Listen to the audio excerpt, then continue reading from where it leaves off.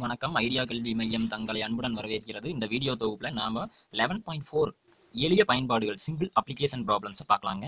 இதுக்கு முன்னாடி மூணு வீடியோஸ் நம்ம போட்டிருக்கிறோம். அதில் ஃபண்டமெண்டல்ஸ்லாம் இன்டர்வல் பற்றி சொல்லியிருக்கிறோம். அந்த வீடியோவை பார்க்கணும்னா நீங்கள் கீழே டிஸ்கிரிப்ஷனில் அதுக்கான லிங்க் கொடுத்துருக்குங்க அதில் போய் பாருங்க. அதை பார்த்துட்டு இங்கே வந்தீங்கன்னா தான் புரியுங்க. இல்லைன்னா இந்த வீடியோ சுத்தமாக உங்களுக்கு புரியாது. புரியாத மாதிரி தான் இருக்குது ஏன்னா புக்கில் ஒரு மாதிரி இருக்குது நான் ஒரு மாதிரி தனி ஸ்டைல் நடத்தியிருப்பேன். சரி ஓகேங்க. இதுக்கு முன்னாடி ஃபண்டமெண்டல் ஃபார்முலாஸ் எல்லாம் பார்த்தா ஒரு பதினாலு ஃபார்முலாக்களை வச்சு நம்ம எப்படி சம்ஸ் பண்ணுறது லெவன் பாயிண்ட் த்ரீ வரைக்கும் நம்ம போட்டு வந்துட்டு அதில் ஆன்சர் பண்ணுறது ஓகேங்களா? அப்புறம் ட்வின்ஸ் ஃபார்முலா இது மாதிரி சிலதெல்லாம் பார்த்தோம். பல்னாமியில் எப்படி பண்ணுறது அதில் இ e பவர் எக்ஸ் ஃபார்மெட்டில் ஏ பவர் எக்ஸில் வந்தால் எப்படி பண்ணுறது சைன் இன்வெர்ஸ் டேன் இன்வெர்ஸ் வந்தால் எப்படி பண்ணுறதுனால பார்த்து போனோம் பல வீடியோக்கள் பார்த்துட்டு இதுக்கு வாங்க. சரிங்க. இந்த புக்கில் பார்த்தீங்கன்னா தமிழ் மீடியா புக்கில் பேஜ் நம்பரில் கொடுத்துருப்பாங்க.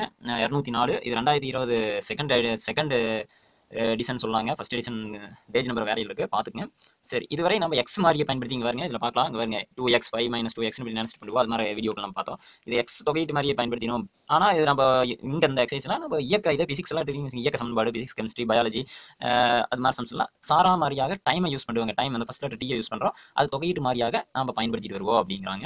அதே மாதிரி உங்கள் பிசிக்ஸில் முடுக்கம் தரப்பட்டிருந்தால் அப்பொருளின் நிலை மற்றும் திசைவேகம் காண தொகையிடலை எப்படி பயன்படுத்தி கண்டுபிடிக்கிறது அப்படின்னு சொல்லி பார்ப்போம். அதே இது போன்ற கணக்குகள் இங்கே பார்க்க போகிறோம் அப்படின்னு சொல்லியிருக்காங்க இதை எடுத்து படிச்சு பாருங்க. அதே மாதிரி கணித ரீதியாக காணும்போது ஒரு சார்பின் வகையிடலில் தொடங்கி அதன் அசல் சார்பு ஃபங்க்ஷனை கண்டுபிடிக்கிறது அப்படிங்கிறது தான் நம்ம இங்கே பார்க்க போகிறோம் ஃபைன் பண்ணுற சம்மந்தமா அதுல அதில் பார்த்தீங்கன்னா வீதம் வளர்ச்சி தேய்மானம் டெப்ரிசியேஷன் சொல்லுவாங்க அதுங்க. அப்புறம் இறுதி நிலை மாற்றம் மாறுபாடுகள் உயர்த்துதல் அதாவது இன்க்ரீஸ் ஆகிறது டிகிரீஸ் ஆகிறது போன்ற பொதுவான சொற்கள் வகையிடுதலை குறிக்கின்றன அப்படின்னு தெரிஞ்சுக்கங்க. சரிங்க நம்ம இந்த எக்ஸாம் சம்ஸ்லாம் நம்ம போடலாம். ஃபர்ஸ்ட் நம்ம எக்ஸசைஸ் நம்ம பார்த்துட்டு வந்துடலாம். ஓகேங்களா இது உங்களுக்கு இங்கிலீஷ் மீடியம் புக்கில் கொடுத்துருப்பாங்க பார்த்துங்க. இப்போ பயிற்சி லெவன் பாயிண்ட் ஃபோரில் நம்ம எதை பார்க்க போகிறோம்னா இந்த ஃபஸ்ட்டு செம்மை பார்க்க போகிறோம் ஓகேங்களா எஃப் டேஸ் ஆஃப் எக்ஸ் கொடுத்துருப்பாங்க. ஃபஸ்ட் ரெண்டு சம்மே சேம் சிமிலர் மெத்தடுங்க தேர்ட் சம் தான் டபுள் டேஸ் ஆஃப் எக்ஸ் கொடுத்துட்டு F dash of one value கொடுத்துருப்பாங்க. எஃப் ஆஃப் ஒனுக்கு ஆன்சர் கொடுத்துருப்பாங்க. இதை பயன்படுத்தி நம்ம சீமு இன்னொரு அனதர் வேரியபிள் ரெண்டு டைம் பண்ணுறோம் இன்டகிரேஷன் சரி வாங்க சம்முக்கு போகலாம் வாங்க. சரிங்க. எக்ஸைஸில் லெவன் பாயிண்ட் சிக்ஸில் எளிய பயன்பாடுகள் பார்த்துட்டு இருக்காங்க இன்னைக்கு நியூ இயர் அன்னைக்கு நம்ம இந்த வீடியோ ரெக்கார்ட் பண்ணேன். ரெண்டாயிரத்தி இருபது நியூ இயர் புதன்கிழமை. Simple application exercise eleven point four eleven point three இதுக்கு முன்னாடி தாங்க வீடியோ லோட் பண்ணியிருக்கிற பாருங்க. வயசு eleven point four Tamil medium இது ஒன்று எஃப் ஆஃப் எக்ஸ் கொடுத்தாங்க எஃப் ஆஃப் டூ கொடுத்தாங்க எஃப் ஆஃப் எக்ஸ் என்னன்னு கேட்டுருக்காங்க ஓகேங்களா எஃப் ஆஃப் டூ இப்படி இருக்கும்போது ஒன்றா இருக்குதாம எக்ஸ் வந்து டூ டூனு எஃப் ஆஃப் எக்ஸில் போடும்போது இங்கே எஃப் ஆஃப் எக்ஸ் தான் கொடுத்துருக்காங்க டூன்னு எக்ஸ் பதிலாக போடும்போது ஆன்சர் ஒன் வருதுன்னு கொடுத்துருக்காங்க. இந்த ஒரு ஹின்ஸ் கொடுத்துருக்காங்க. இதை யூஸ் பண்ணி நம்ம அந்த கான்ஸ்டன்ட் கண்டுபிடிக்கணும். ஓகேங்களா சரி வாங்க சமக்கு போகலாம் இதில் என்ன தெரிஞ்சிருக்கணும்னா என்ன கான்செப்ட் தெரிஞ்சுக்கணும் இது மாதிரி எஃப் டேஸ் ஆஃப் எக்ஸ் கொடுத்துட்டு எஃப் ஆஃப் எக்ஸ் கேட்டாங்க அப்படின்னாவே எஃப் டேஸ் ஆஃப் எக்ஸை எஃப் ஆஃப் எக்ஸை டிஃபரன்ஷியேட் பண்ணி தான் இது வந்துருக்குது. அப்படின்னு இதை கண்டுபிடிக்கணும்னா ஆன்டி டெரிவேட்டிவ் பயன்படுத்தணும் அப்படிங்கிறாங்க. அது ஃபார்முலா என்னன்னா F of X equal to integral F dash of X into D X இதான் ஃபார்முலாங்க எஃப் டேஸ் ஆஃப் எக்ஸ் கொடுத்துருந்தாங்கன்னா அதை இன்டகிரேட் பண்ணால் எஃப் ஆஃப் எக்ஸ் கிடச்சிரு. அந்த கான்செப்ட் ஓகேங்களா சரி. இப்போ நம்ம இந்த F dash of X given எடுத்து சப்ஸ்டியூட் பண்ணுங்க. அப்படின்னா integral four X minus five into D X that equal to இது உங்களுக்கு தெரியுது கான்ஸ்டன்ட் கேங்கிற கான்ஸ்டன்ட் வெளியே வச்சுட்டு இது தனித்தனியாக போடலாம். இது ஒட்டுக்கா ஓடாவும் பண்ணலாம் ஒன்றும் தப்பு இல்லைங்க டேரெக்டாக கூட பண்ணலாம். அப்படி பண்ணி பழகிங்க ஃபோர் வெளியே வந்துருச்சு. எக்ஸ் இன்டகிரேட் பண்ணிங்கன்னா எக்ஸ் பவர் ஒன் இருங்க. X power one plus one two by n one plus one two x கோயிசியன்றீங்களா அப்படி இது குழப்பிக்காதீங்க. இது நம்ம உள்ளுக்கு ஃபுல்லாக நினச்சிட்டு பண்ணலீங்க. தனித்தனியாக தான் பண்ணுறது ரெண்டையும் உள்ளுக்கு. ஓகேங்களா நல்லா ஞாபகத்தில் வச்சுக்கோங்க. இதை முடிச்சாச்சு இந்த ஃபங்க்ஷன் அடுத்து மைனஸ் கேங்கிறத எக்ஸை பொறுத்து இன்டகிரேட் பண்ணால் என்ன வருங்க? கே எக்ஸ்னு வரும் ஃபார்முலா பார்த்துக்கிறது கே இன்ட்டு கே வந்து இந்த இடத்துல ஃபைவ் மைனஸ் ஃபைவ் கூட எடுத்துக்கலாங்க. ஃபைன் எடுத்துக்கலாம் ஓகே மைனஸ் போட்டு. ப்ளஸ் இன்டகிரேட்டிங் கான்ஸ்டன்ட் சியை ஆட் பண்ணிக்கிறீங்க. ஓகேங்களா சொல்றது புரியுதுங்களா? சரி ஓகே இதங்காச்சு நீங்கள் இது ஃபுல்லாக நினச்சிட்டு பண்ணுறது இல்லைங்க. உள்ளுக்கு தனித்தனியாக இதை தனியாக இன்டகிரேட் பண்ணலாம் இதை தனியாக இன்டகிரேட் பண்ணலாம். இது கே எக்ஸ் வெறும் கே ஓகேங்களா சரி இப்போ நம்ம எஃப் ஆஃப் எக்ஸ் கண்டுபிடிச்சிட்டோம். இதில் இந்த சியை கண்டுபிடிக்கிறது ஒரு ஹின்ஸ் கொடுத்துருக்காங்க என்னன்னு கொடுத்துருக்காங்க கொஸ்டின்ல f of two equal to one given that என்ன கொடுத்துருக்காங்க எஃப் ஆஃப் டூவோட ஆன்சர் ஒன்றுன்னு அப்படின்னா எக்ஸுக்கு டூன்னு போடும்போது எக்ஸுக்கு டூன்னு போட்டிங்கன்னா ஆன்சர் வந்து இதனோட ஆன்சர் ஒன்னுக்கு சமம் அப்படின்னு இருக்காங்க. வேணா இதை கேன்சல் பண்ணிக்கங்க. இதை கேன்சல் பண்ணிங்கன்னா இது எத்தனை டைம்ஸ் அடிக்கலாம் உங்களுக்கு? டூ டைம்ஸ் அடிக்கலாம். ஓகேங்களா டூ டைம்ஸ் அடிக்கலாம். இதை இதே அடிச்சிட்டிங்கன்னா. ஆர்டர் பண்ணி கூட ஒரு ஸ்டெப் எழுதிங்க that equal to two x square minus five x plus c தான் வந்து எஃப் ஆஃப் எக்ஸ் இப்போ இதில் எஃப் ஆஃப் டூன்னு சொல்லி இதில் அப்ளை பண்ணால் அது ஒன்றுக்கு ஈக்குவேட் பண்ணிக்கலாம். அதாவது இதில் அந்த ஒரு இடத்துல அப்ளை பண்ணிங்கன்னா அது டூ டூன்னு இந்த எக்ஸுக்கு பதிலாக டூ போட்டிங்கன்னா ஆன்சர் வந்து ஒன் வருதுன்னு சொல்லிட்டாங்க. அதாவது சியை கண்டுபிடிக்க போகிறோம் அப்படின்னா டூ இன்ட்டு டூ ஸ்கொயர் எக்ஸுக்கு பதிலாக டூன்னு போடுறீங்க. Minus five into two plus c equal to one அப்படின்னா two into four minus ten plus c equal to one அப்படின்னா eight minus ten plus c equal to one minus two plus c equal to one ஏன்னா C equal to என்ன வருங்க? One plus two equal to three அப்படின்னா therefore f of x equal to என்ன வருங்க? இந்த C எடுத்து இந்த F of எக்ஸில் போட்டுருங்க. வேணா இது ஈக்குவேஷன் நம்பர் கொடுத்துங்க இது ஒன்று புட் சி ஈக்குவல் டு ஒன்று in equation number one we get அப்படின்னு எழுதலாம். அங்கே கிடைக்கிறது பெறுவது. F of x equal to two x square minus five x plus சியோட வேல்யூ என்னங்க? சிக்கு பதில் எதை போடணும்? இந்த கண்டுபிடிச்சதை போட்டுருங்க. Which is a required solution which is a required solution அப்படின்னு எழுதி முடிச்சிருங்க. தமிழ் மீடியமாக இருந்தால் இதுவே தேவையான தீர்வாகும். அப்படின்னு எழுதிட்டீங்க போதுங்க. சொல்றது புரிஞ்சுங்களா கரெக்டாக அஞ்சு நிமிஷத்துல ஒரு சம் முடிச்சிட்டாங்க. இது ஆக்சுவலாக உங்களுக்கு டூ மார்க் கொஸ்டினுங்க சி கண்டுபிடிச்சா ஒரு மார்க் அதை சப்ஸ்ட் பண்ணிங்கன்னா தருவாங்க. இல்லைனா இதுக்கு இதுக்கு ஒரு ஆஃப் மார்க் இதுக்கு ஒரு ஆஃப் மார்க் ஆன்சருக்கு ஒரு மார்க்னு பிரிப்பாங்க ஸ்டெப் மார்க் ஓகேங்களா புரிஞ்சுங்களா இதே மாதிரி தான் நெக்ஸ்ட் சம் பார்க்கலாம் வாங்க. சரி எக்ஸைஸ் லெவன் பாயிண்ட் ஃபோரில் second sum f dash of x equal to nine x square minus six x மற்றும் எஃப் ஆஃப் ஜீரோவோட வேல்யூ மைனஸ் த்ரீன்னு கொடுத்துட்டாங்க. இப்படி இருந்தால் எஃப் ஆஃப் எக்ஸ் எப்படி இருந்திருக்கும் அப்படின்னு சொல்லி கேட்டுருக்காங்க ஓகேங்களா அது டிஃபரன்ஷியேட் பண்ணுறதுக்கு முன்னாடி எப்படி இருந்திருக்கும்? கிவன் ஃபங்க்ஷன் அப்படிங்கிறத கண்டுபிடிக்கணும். சரி வாங்க போகலாமா இதுக்கு என்ன பண்ணுவோம் நமக்கு தெரியும் வீனோ நோ தட் இதுக்கு என்ன அர்த்தம்னா வீ நோ தட் நமக்கு தெரியும்னு அர்த்தங்க. அது அப்ரிவேஷன் எழுதியிருக்கிறேன். F of x equal to formula என்னங்க? Integral f dash of x into d x அப்படின்னு சொல்லலாம். இப்போ எஃப்டேஸ் ஆஃப் எக்ஸ் கொடுத்துட்டாங்க அதை எடுத்து அப்ளை பண்ணுங்க. Nine x square minus six எக்ஸுங்கிற ஒரு குவாட்ராட்டிக் பாலினாமியல் ஈக்குவேஷன் கொடுத்துருக்காங்க இருபடி சமன்பாட்டில் கொடுத்துருக்காங்க சரி ஓகே அப்படின்னா இந்த இன்டகரில் இப்படி பிரித்து கொடுக்கலாம். முன்னாடி வீடியோ பார்த்தீங்கன்னா தெரியுங்க. இப்படி பிரிச்சு எடுத்து கேங்கிற கான்ஸ்டன்ட் நைன் சிக்ஸ்லாம் கேங்கிற கான்ஸ்டன்ட் வெளியே எடுத்து போட்டுக்கிட்டு இப்படி எழுதலாம். அதை போன வீடியோவில் சொன்னேன். அடுத்த ஸ்டெப்பில் இன்டகிரேட் பண்ணலாம். எக்ஸ் பவர் என் ஃபார்முலா தாங்க. அப்படின்னா x power n plus one two plus one by two plus one minus இந்த இதை ரெண்டை விட்டுருவனுக்கு இப்படி பண்ணி முடிச்சிட்டோம்னா அடுத்தது இங்கே சிக்ஸ் கான்ஸ்டன்ட் கே வெளியே வச்சுக்கிறீங்க. இது பவர் வந்து ஒன் இருக்குது அப்படின்னா இதே மாதிரி போட்டிங்கன்னா x power one plus one by one plus one two ஆயிருங்க. லிமிட் கொடுக்கல அதனால் ப்ளஸ் சி போட்டுக்கிறோம். இப்போ இது ரெண்டையும் அடிக்கலாம் கேன்சல் பண்ணிக்கங்க. எத்தனை டைம்ஸ் அடிக்கலாங்க? த்ரீ டைம்ஸ் இது த்ரீ டைம்ஸ் அப்படின்னா உங்களுக்கு என்ன ஆன்சர் வருதுங்க? Three x cube minus three x square plus c அப்படின்னு வந்து சரி தான் நமக்கு தேவையான எஃப் ஆஃப் எக்ஸ் ஓகேங்களா இது ஈக்குவேஷன் நம்பர் ஒன்று கொடுத்துருங்க ஒன்றுன்னு இப்போ நம்ம இது சியை கண்டுபிடிக்கிறதுக்கு கொஸ்டினில் ஒரு க்ளூ கொடுத்துருக்கோம் எக்ஸ் ஜீரோன்னு போட்டிங்கன்னா டோட்டல் ஆன்சர் மைனஸ் த்ரீ வருது அப்படின்னு. அப்படின்னா இதில் எக்ஸ் வந்த ஆன்சர் அதாவது கிவன் என்னன்னு கொடுத்துருக்காங்க f of zero equal to minus three therefore இதில் எடுத்து இந்த ஜீரோன்னு சொல்லி இந்த எக்ஸ் வந்த இடத்துல அப்ளை பண்ணுறீங்க ஓகேங்களா ரைட் சைடில் இது எஃப் ஆஃப் எக்ஸ் இதுக்கு சமம் இல்லைங்க. அதனால சப்ஸ்டிட் பண்ணுறீங்க three into zero cube minus three into zero square plus c equal to minus three equate பண்ணிட்டே வரும். இப்போ இது என்ன zero minus zero plus c equal to minus three அப்படின்னா c equal to minus three அப்படின்னு உங்களுக்கு கிடச்சிருங்க. அப்படின்னா சி ஈக்குவல் டு மைனஸ் த்ரீயை ஒன்னில் பிரதியிட. அதாவது put c equal to minus three in equation number one we get என்ன கிடைக்குங்க? F of x equal to இதில் அழகாக இதில் சப்ஸ்ட் பண்ணுங்க. Three x cube minus three x squared minus three அப்படின்னு வருங்க. எங்கள் புக் ஆன்சரில் த்ரீயை காமனாக வெளியெடுத்து x cube minus x square minus one அப்படின்னு எழுதி காமிச்சிருப்பாங்க. இதுவே தேவையான தீர்வாகும். இது அஞ்சு நிமிஷத்தில் நான் முடிச்சிட்டேங்க. இந்த வீடியோ இந்த செகண்ட் சமயமாக அடுத்த சமயம் போலாவாங்க சரிங்க. அடுத்து தேர்ட் சம் எடுத்துக்கிட்டிங்கன்னா என்ன கொடுத்துருக்காங்க பார்த்தீங்கன்னா எஃப் டேஸ் ஆஃப் எக்ஸ் கொடுத்துட்டாங்க. எஃப் டபுள் டேஸ் நல்லா பாருங்க சாரி எஃப் டபுள் டேஸ் கொடுத்துருக்காங்க. நல்லா பார்த்தீங்கன்னா தெரியுங்க. டபுள் டேஸ் அப்படின்னா ரெண்டு டைம் இன்டகிரேட் பண்ணுறோன்னு அப்படின்னா ரெண்டு கான்ஸ்டன்ட் நமக்கு கிடைக்குங்க. First f dash of x ஒரு டைம் பண்ணும்போது எஃப் டேஸ் ஆஃப் எக்ஸ் கிடைக்கும் மறுபடியும் அந்த எஃப் டேஸ் ஆஃப் எக்ஸ் பழைய சம் மாற பண்ணோம்னா எஃப் ஆஃப் எக்ஸ் கண்டுபிடிச்சிடலாம். அதான் கான்செப்ட்டுங்க அதனால இங்கே ரெண்டு இது கொடுத்துருக்காங்க கண்டிஷன்ஸ் இது ரெண்டு பயன்படுத்தி ரெண்டு கான்ஸ்டன்ட் கண்டுபிடிச்சிட்டா நமக்கு தேவையான எஃப் ஆஃப் எக்ஸ் ஃபைன் பண்ணிடலாம். அதான் கான்செப்ட் ரெண்டு டைம் இன்டகிரேட் பண்ணுவாங்க சரி வாங்க. ஒரு டைம் பண்ணால் என்ன கிடைக்குங்க?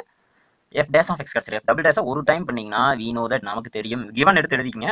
நான் எஃப் டேஸ் ஆஃப் எக்ஸ் எப்படி கண்டுபிடிக்கலாம் integral f double dash of எக்ஸை ஒரு டைம் இன்டகிரேட் பண்ணிங்கன்னா எஃப் டேஸ் ஆஃப் எக்ஸ் கிடைக்கும். இதுக்கு முன்னாடி சம்பளம் பார்த்தா எஃப் டேஸ் ஆஃப் எக்ஸ் கொடுத்துருந்தாங்க. அதனால அது ஒரு டைம் பண்ணால் எஃப் ஆஃப் எக்ஸ் டேரக்டாக கிடச்சிரு இது டபுள் டேஸ் கொடுத்துருக்காங்க. ரெண்டு ஒரு டைம் பண்ணீங்கன்னா எஃப் டேஸ் ஆஃப் எக்ஸ் வந்து எஃப் டேஸ் ஆஃப் எக்ஸ் வந்த ஆன்சரா மறுபடியும் ஒரு டைம் பண்ணுவாங்க அந்த கான்செப்ட் நல்லா தெரிஞ்சுங்க சரி பண்ணலாம் வாங்க.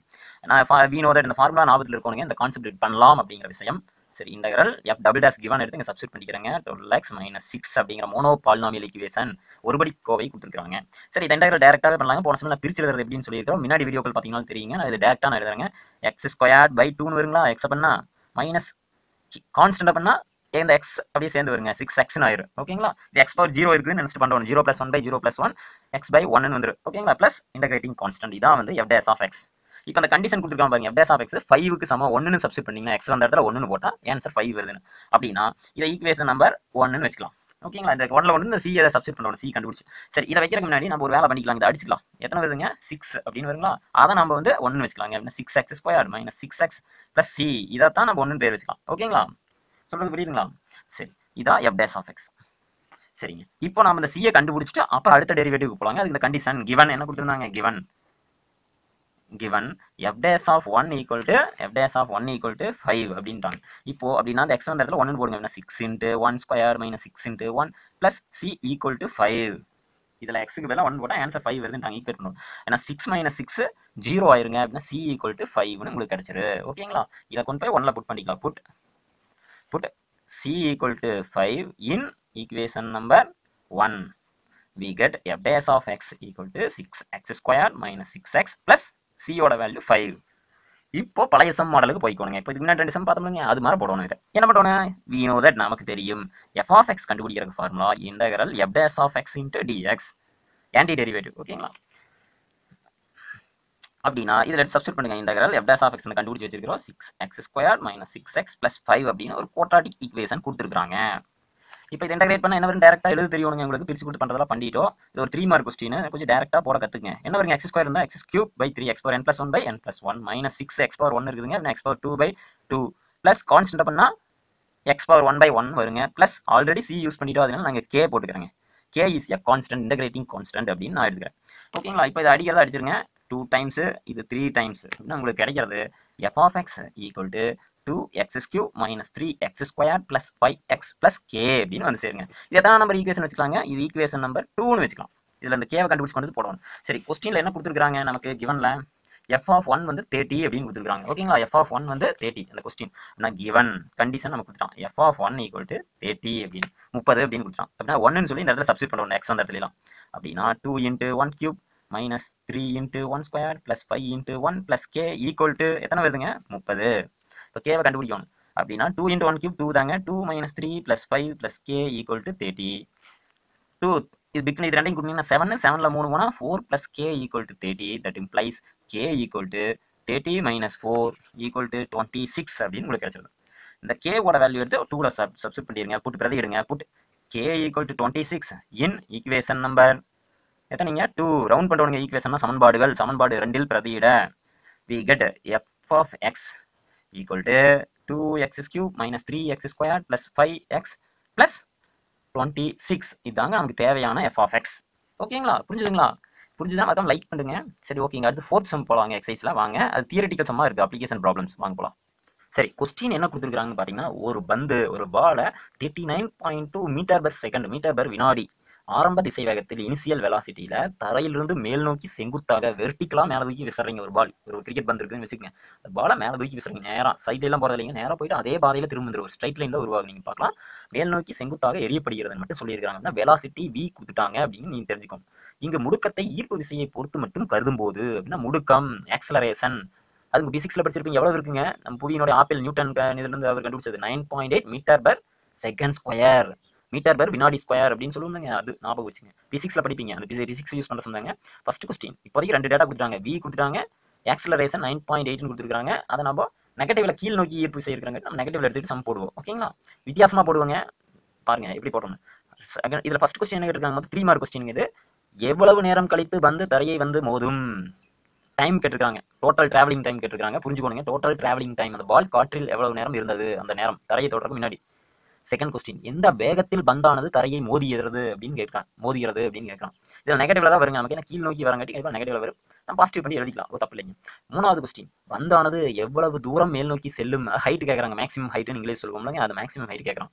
இந்த மூணையும் கண்டுபிடிக்கணும் ஃபர்ஸ்ட் காற்றில் எவ்வளவு நேரம் இருந்தது? அந்த டைம் எவ்வளவு? அதாவது மேலே போயிட்டு கீழே வரும்போது அந்த time total travelling time physics சொல்லுவோம். அதுக்கு உங்களுக்கு பிசிக்ஸ் லோயர் கிளாஸ் படிச்சு மேலேற நேரம் அங்கே சற்று கன நேரம் நின்று தான் கீழே வரும் அப்படிங்கிற கான்செப்ட் தெரிஞ்சுக்கோங்க மேலேற நேரம் ப்ளஸ் கீழே இறங்குற நேரம் ஈக்குவல் டு டோட்டல் டைம் தெரிஞ்சிருந்தா அந்த சம ஈஸியாக போடலாம். சரி எந்த வேகத்தில் தரையை மோதியது மூணாவது எவ்வளவு தூரம் மேல் நோக்கி சென்றது? மேக்ஸிமம் ஹைட் ஓகேங்களா அந்த மூணு கொஸ்டின் ஆன்சர் பண்ணலாங்க. இது மூணு மார்க்குங்க நீங்கள் இந்த ஃபஸ்ட் ஃபண்டமெண்டல் இருந்து நீங்கள் கன்வெர்ட் பண்ணி ஈக்குவேஷன் எழுதிங்க அதுக்கு ரெண்டு மார்க் தருவாங்க. ஃபைவ் மார்க்லையும் கேட்கலாம். சரி வாங்க சம்முக்கு போகலாம் இப்போ சம் கொஸ்டின் பார்த்தோம். இப்போ அடுத்து ஆன்சர் பார்க்கலாங்க. வாங்க. கிவன் இனிஷியல் வெலாசிட்டி கொஸ்டின் கொடுத்துட்டோம். அது தொடக்க திசை வேகம் கொடுத்துருந்தாங்க. Thirty nine point two metre per second ஓகேங்களா இது நம்ம யூன் எடுத்துக்கிறோம். இது என்ன காரணத்துல நீங்க பிசிக்ஸ்ல படிச்சிருப்பீங்க டென்த்லயே படிச்சிருப்பீங்க லோயர் கிளாஸ்ல படிச்சுட்டு வந்திருப்பீங்க. யூன் எடுத்துக்கலாம். காரணம் ஏன்னா இந்த பொருள் பாத்தீங்கன்னா அந்த பால் எடுத்துக்கிட்டீங்கன்னா கீழ இருந்து செங்குத்தாக மேல் நோக்கி எறிகிறான். இதே பார்த்தீங்கன்னா இப்படி யூ ஷேப்ல பேரபாலிக் எரிபொருளின் பாதி இப்படி ஒரு 90 டிகிரி இல்லைங்க டீட்டா வந்து 90 டிகிரில வெர்டிகலா எறிகிறான் பலப்பா அதனால நம்ம இந்த இடத்துல நீங்கள் லோயர் கிளாஸில் படிச்சிருப்பீங்க. செங்குத்தாக எரிகின்ற பொருளின் பாதையின் தொலைவு காணும் ஃபார்முலா இடப்பெயர்ச்சி formula displacement formula s of t equal to u t minus half g t ஸ்கொயரில் போடலாம்னு தெரிஞ்சிருக்கு. இதில் இந்த யூ கொடுத்துட்டாங்க. புவியீர்ப்பு முடுக்கம் ஆக்சலரேஷன் எப்படி இருக்குது நம்ம கிராவிட்டிக்கு ஈக்குவலாக இருக்குதுன்னு நம்ம எடுத்துக்கலாம். ஜி நைன் பாயிண்ட் எயிட் எனக்கு வெர்டிகலாக போகும்போது கிராவிட்டி தாங்க வேலை செய்யும். அதான் மேலே ஏறக்கூடாது தடுக்கு. கீழ் நோக்கி இழுக்கு. ஓகேங்களா? அதாவது நெகட்டிவ்ல இருக்கு இந்த இடத்துல பாத்தீங்கன்னா ஜி வந்து நெகட்டிவ் ஆட்டோமேட்டிக்கா வந்துருங்க. ஃபார்முலா இது கொடுத்தாங்க அதுல ஆட்டோமேட்டிக்கா நெகட்டிவ்ல கொடுத்துட்டோம். அந்த ஃபார்முலா மெமரி பண்ணி ஆகணுங்க. தெரிஞ்சா தான் போடவே முடியும். இந்த சம்பளம் இந்த யூஐமே ஜி எடுத்து அப்ளை பண்றீங்க. டூ அடிக்கிறீங்க ஃபோர் பாயிண்ட் நைன் இதான் நமக்கு தேவையான அந்த பால் பயணம் செய்யும் பாதையினுடைய சமன்பாடு கிடைச்சிருதுங்க. டி டைம்ல டிஎன் நேரத்தில் பந்து பயணம் செய்யும் பாதையின் சமன்பாடு கிடைச்சிருங்க. இதை வச்சு தெரிஞ்சால் தெரிஞ்சாதான் நம்ம வந்து ஈஸியாக போட்டுக்கலாம். அடுத்த ஸ்டெப்புக்கு போகலாம். மேக்ஸிமம் ஹைட் கண்டுபிடிக்கலாம். எவ்வளோ நேரம் பயணம் செஞ்சது கண்டுபிடிக்கலாம். தரையை மோதும் போது எவ்வளவு வேகம் இருந்ததுன்னு கண்டுபிடிக்கலாம். சரி ஓகேங்க இது ஒண்ணு இதான் பாதையை தான் ஹெட் இந்த பாதையை நம்ம கண்டுபிடிச்சிட்டோம். இதுல இருந்து நம்ம ஆன்சர் பண்ண போகலாம் சரி வாங்க. ஃபர்ஸ்ட் கொஸ்டின் என்ன கேட்டிருந்தான்? இது உங்களுக்கே தெரியும். ஃபர்ஸ்ட் கொஸ்டின் எவ்வளவு நேரம் கழித்து தரையை வந்து மோதும்? அதான் ஃபர்ஸ்ட் கொஸ்டின் எவ்வளவு நேரம்னா மொத்த நேரம் கேட்குறாங்க. டோட்டல் பயணம் செய்கின்ற நேரம். அதுக்கு என்ன பண்ணுவோம் நமக்கு தெரியுங்க. இந்த தரையில வந்து இந்த பால் கீழ இருந்து கே- மேல கிளம்பும் போதுமே மேல இருந்து கீழே வரும்போதுமே டிஸ்டன்ஸ் அந்த s of t time g t equal ஜீரோங்கிறப்ப ஜீரோன்னு எடுக்கலாம் இது மேக்ஸிமம் இது ஹெச்னு கூட எடுத்துக்கலாங்க. தப்பு இல்லைங்க. ஹெச் ஆஃப் டின்னு கூட டினோட் பண்ணியிருக்கலாம். தப்பு இல்லை. ஹெச் ஆஃப் டின்னு கூட எடுக்கலாம். சரி கீழே தரையில் இருக்கும்போது டிஸ்டன்ஸ் மேலே எவ்வளோ தூரம் போயிருக்கீங்க? இங்கே போயிருக்காது ஜீரோ அதே மாதிரி மேலே போயிட்டு கீழே வந்து சேர்ந்துருச்சுனாலுமே ஹைட் என்ன ஆயிருங்க? ஜீரோ ஆயிரும். ஹைட்டை தான் நம்ம எஸ்ஆ எஸ்ங்கிற லெட்டர்ல இங்கே டினோட் பண்ணியிருக்கோம் சரி ஓகே அப்படின்னா எஸ் என்னவா இருக்கு? தரைக்கு தரையில மோதும் போது ஜீரோ ஆயிருக்கும் ஒன்று கிளம்பும் போதும் ஜீரோவா இருக்கு.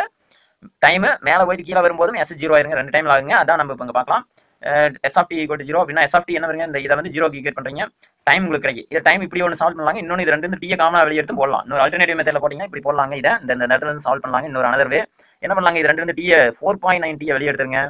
ஃபோர் பாயிண்ட் நைன் டி வெளியே எடுத்துட்டீங்கன்னா உள்ளுக்கு யார் இருப்பாங்க? இதில் ஃபோர் பாயிண்ட் நைன் வந்துருச்சுன்னா eight minus t equal to zero அப்படின்னா ஒன்று டி ஈக்குவல் டு ஜீரோவாக இருந்திருக்கலாம். அல்லது டி ஈக்குவல் டு எயிட் செகண்டாக இருந்திருக்கலாம் அப்படின்னு வருது. சொல்றது புரியுதுங்களா? டி எயிட்டாக இருக்கும்போது டி நாட் ஈக்குவல் டு ஜீரோவாக இருக்கு. இன்னும் டி ஜீரோவாக இருக்கும் நீங்கள் கிளம்பும்போது டைம் இனிஷியல் டைம் ஜீரோவாக இருந்திருக்கு இன்னொன்று ஃபைனல் டைம்ல இருந்தது இப்படியும் கூட நீங்கள் சால்வ் பண்ணலாம் எயிட் செகண்ட் அல்லது மாதிரி இதை அந்த பக்கம் போய் இந்த இடத்துல பார்த்தீங்கன்னா டி நாட் ஈக்குவல் டு ஜீரோவாக இருக்கு. இந்த நேரம் சால்வ் பண்ணும்போது. ஓகேங்களா? அப்போ தான் நீங்கள் டிஆர் டிவைட் பண்ண முடியும். ஓகேங்களா? ஹியர் இந்த மெத்தடில் பார்த்தீங்கன்னா டி நாட் ஈக்குவல் ஜீரோவாக இருக்கணும். அப்போ தான் எயிட் செகண்ட் கிடைக்கும். இப்படியும் போடலாங்க. சரி ஓகே இது வந்து என்னங்க? பால் பயணம் செய்யும் மொத்த டிராவலிங் டைம்னு சொன்னாங்க. பாலினுடைய டோட்டல் டிராவலிங் டைம் இவ்வளவு. மேலே ஏறி கீழே இறங்குறதுக்கு ரெண்டுக்குமே. சரிங்க. இது மேலே இறக்கும் கீழே இறங்குறதுக்கு ரெண்டுங்க. மேலே இறக்கு ஒரு ஃபோர் செகண்டு கீழே இறங்குறதுக்கு ஒரு ஃபோர் செகண்ட் டோட்டல் டைம் உங்களுக்கு எயிட் இது உங்களுக்கு பிரிச்சு பார்த்துட்டு டென்த்ல லோயர் கிளாஸ் படிச்சிருக்கீங்க. அது செகண்ட் கொஸ்டின் போலாங்க. செகண்ட் என்ன கேட்டிருக்காங்க?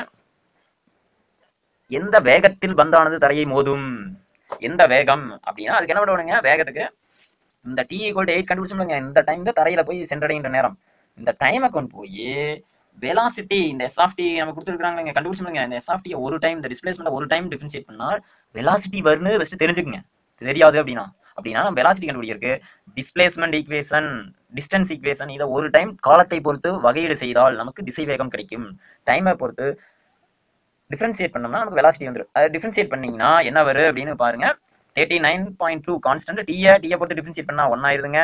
மைனஸ் இந்த டூ பவர் முன்னாடி வந்துருது நைன் பாயிண்ட் எயிட்டி அப்படின்னு வந்துடும் ஓகேங்களா டிஃபரன்சியேஷன் பண்ணலாம் இப்போ இதுல இந்த டி ஈக்குவல் டு எயிட்டை கொண்டு வந்து அப்ளை பண்ணா நமக்கு மோதுகின்ற வேகம் பாருங்க அப்ளை பண்ணிருக்கோம் எட்டு உள்ளுக்கு பண்ணா செவன்டி எயிட் பாயிண்ட் ஃபோர் இதுல இருந்து லெஸ் பண்ணி பிக் நம்பரோட சைனை போடணுங்க பிக் நம்பரோட சைன் நெகட்டிவ் ஆனால் இது ஏன் நெகட்டிவ் வந்ததுன்னா தரையில் கீழ் நோக்கி மோதுவதால் நெகட்டிவ் வந்திருக்கு ஆனால் திசைவேகம் இது கிடையாது. திசைவேகம் கீழ் நோக்கிய செயல்பாட்டை குறிக்கிறது நெகட்டிவ் அதாவது சின்ஸ் நமக்கு தெரியும் திசை வேகம் ஒரு குறையெண்ணாக இருக்காது எப்பொழுதும்.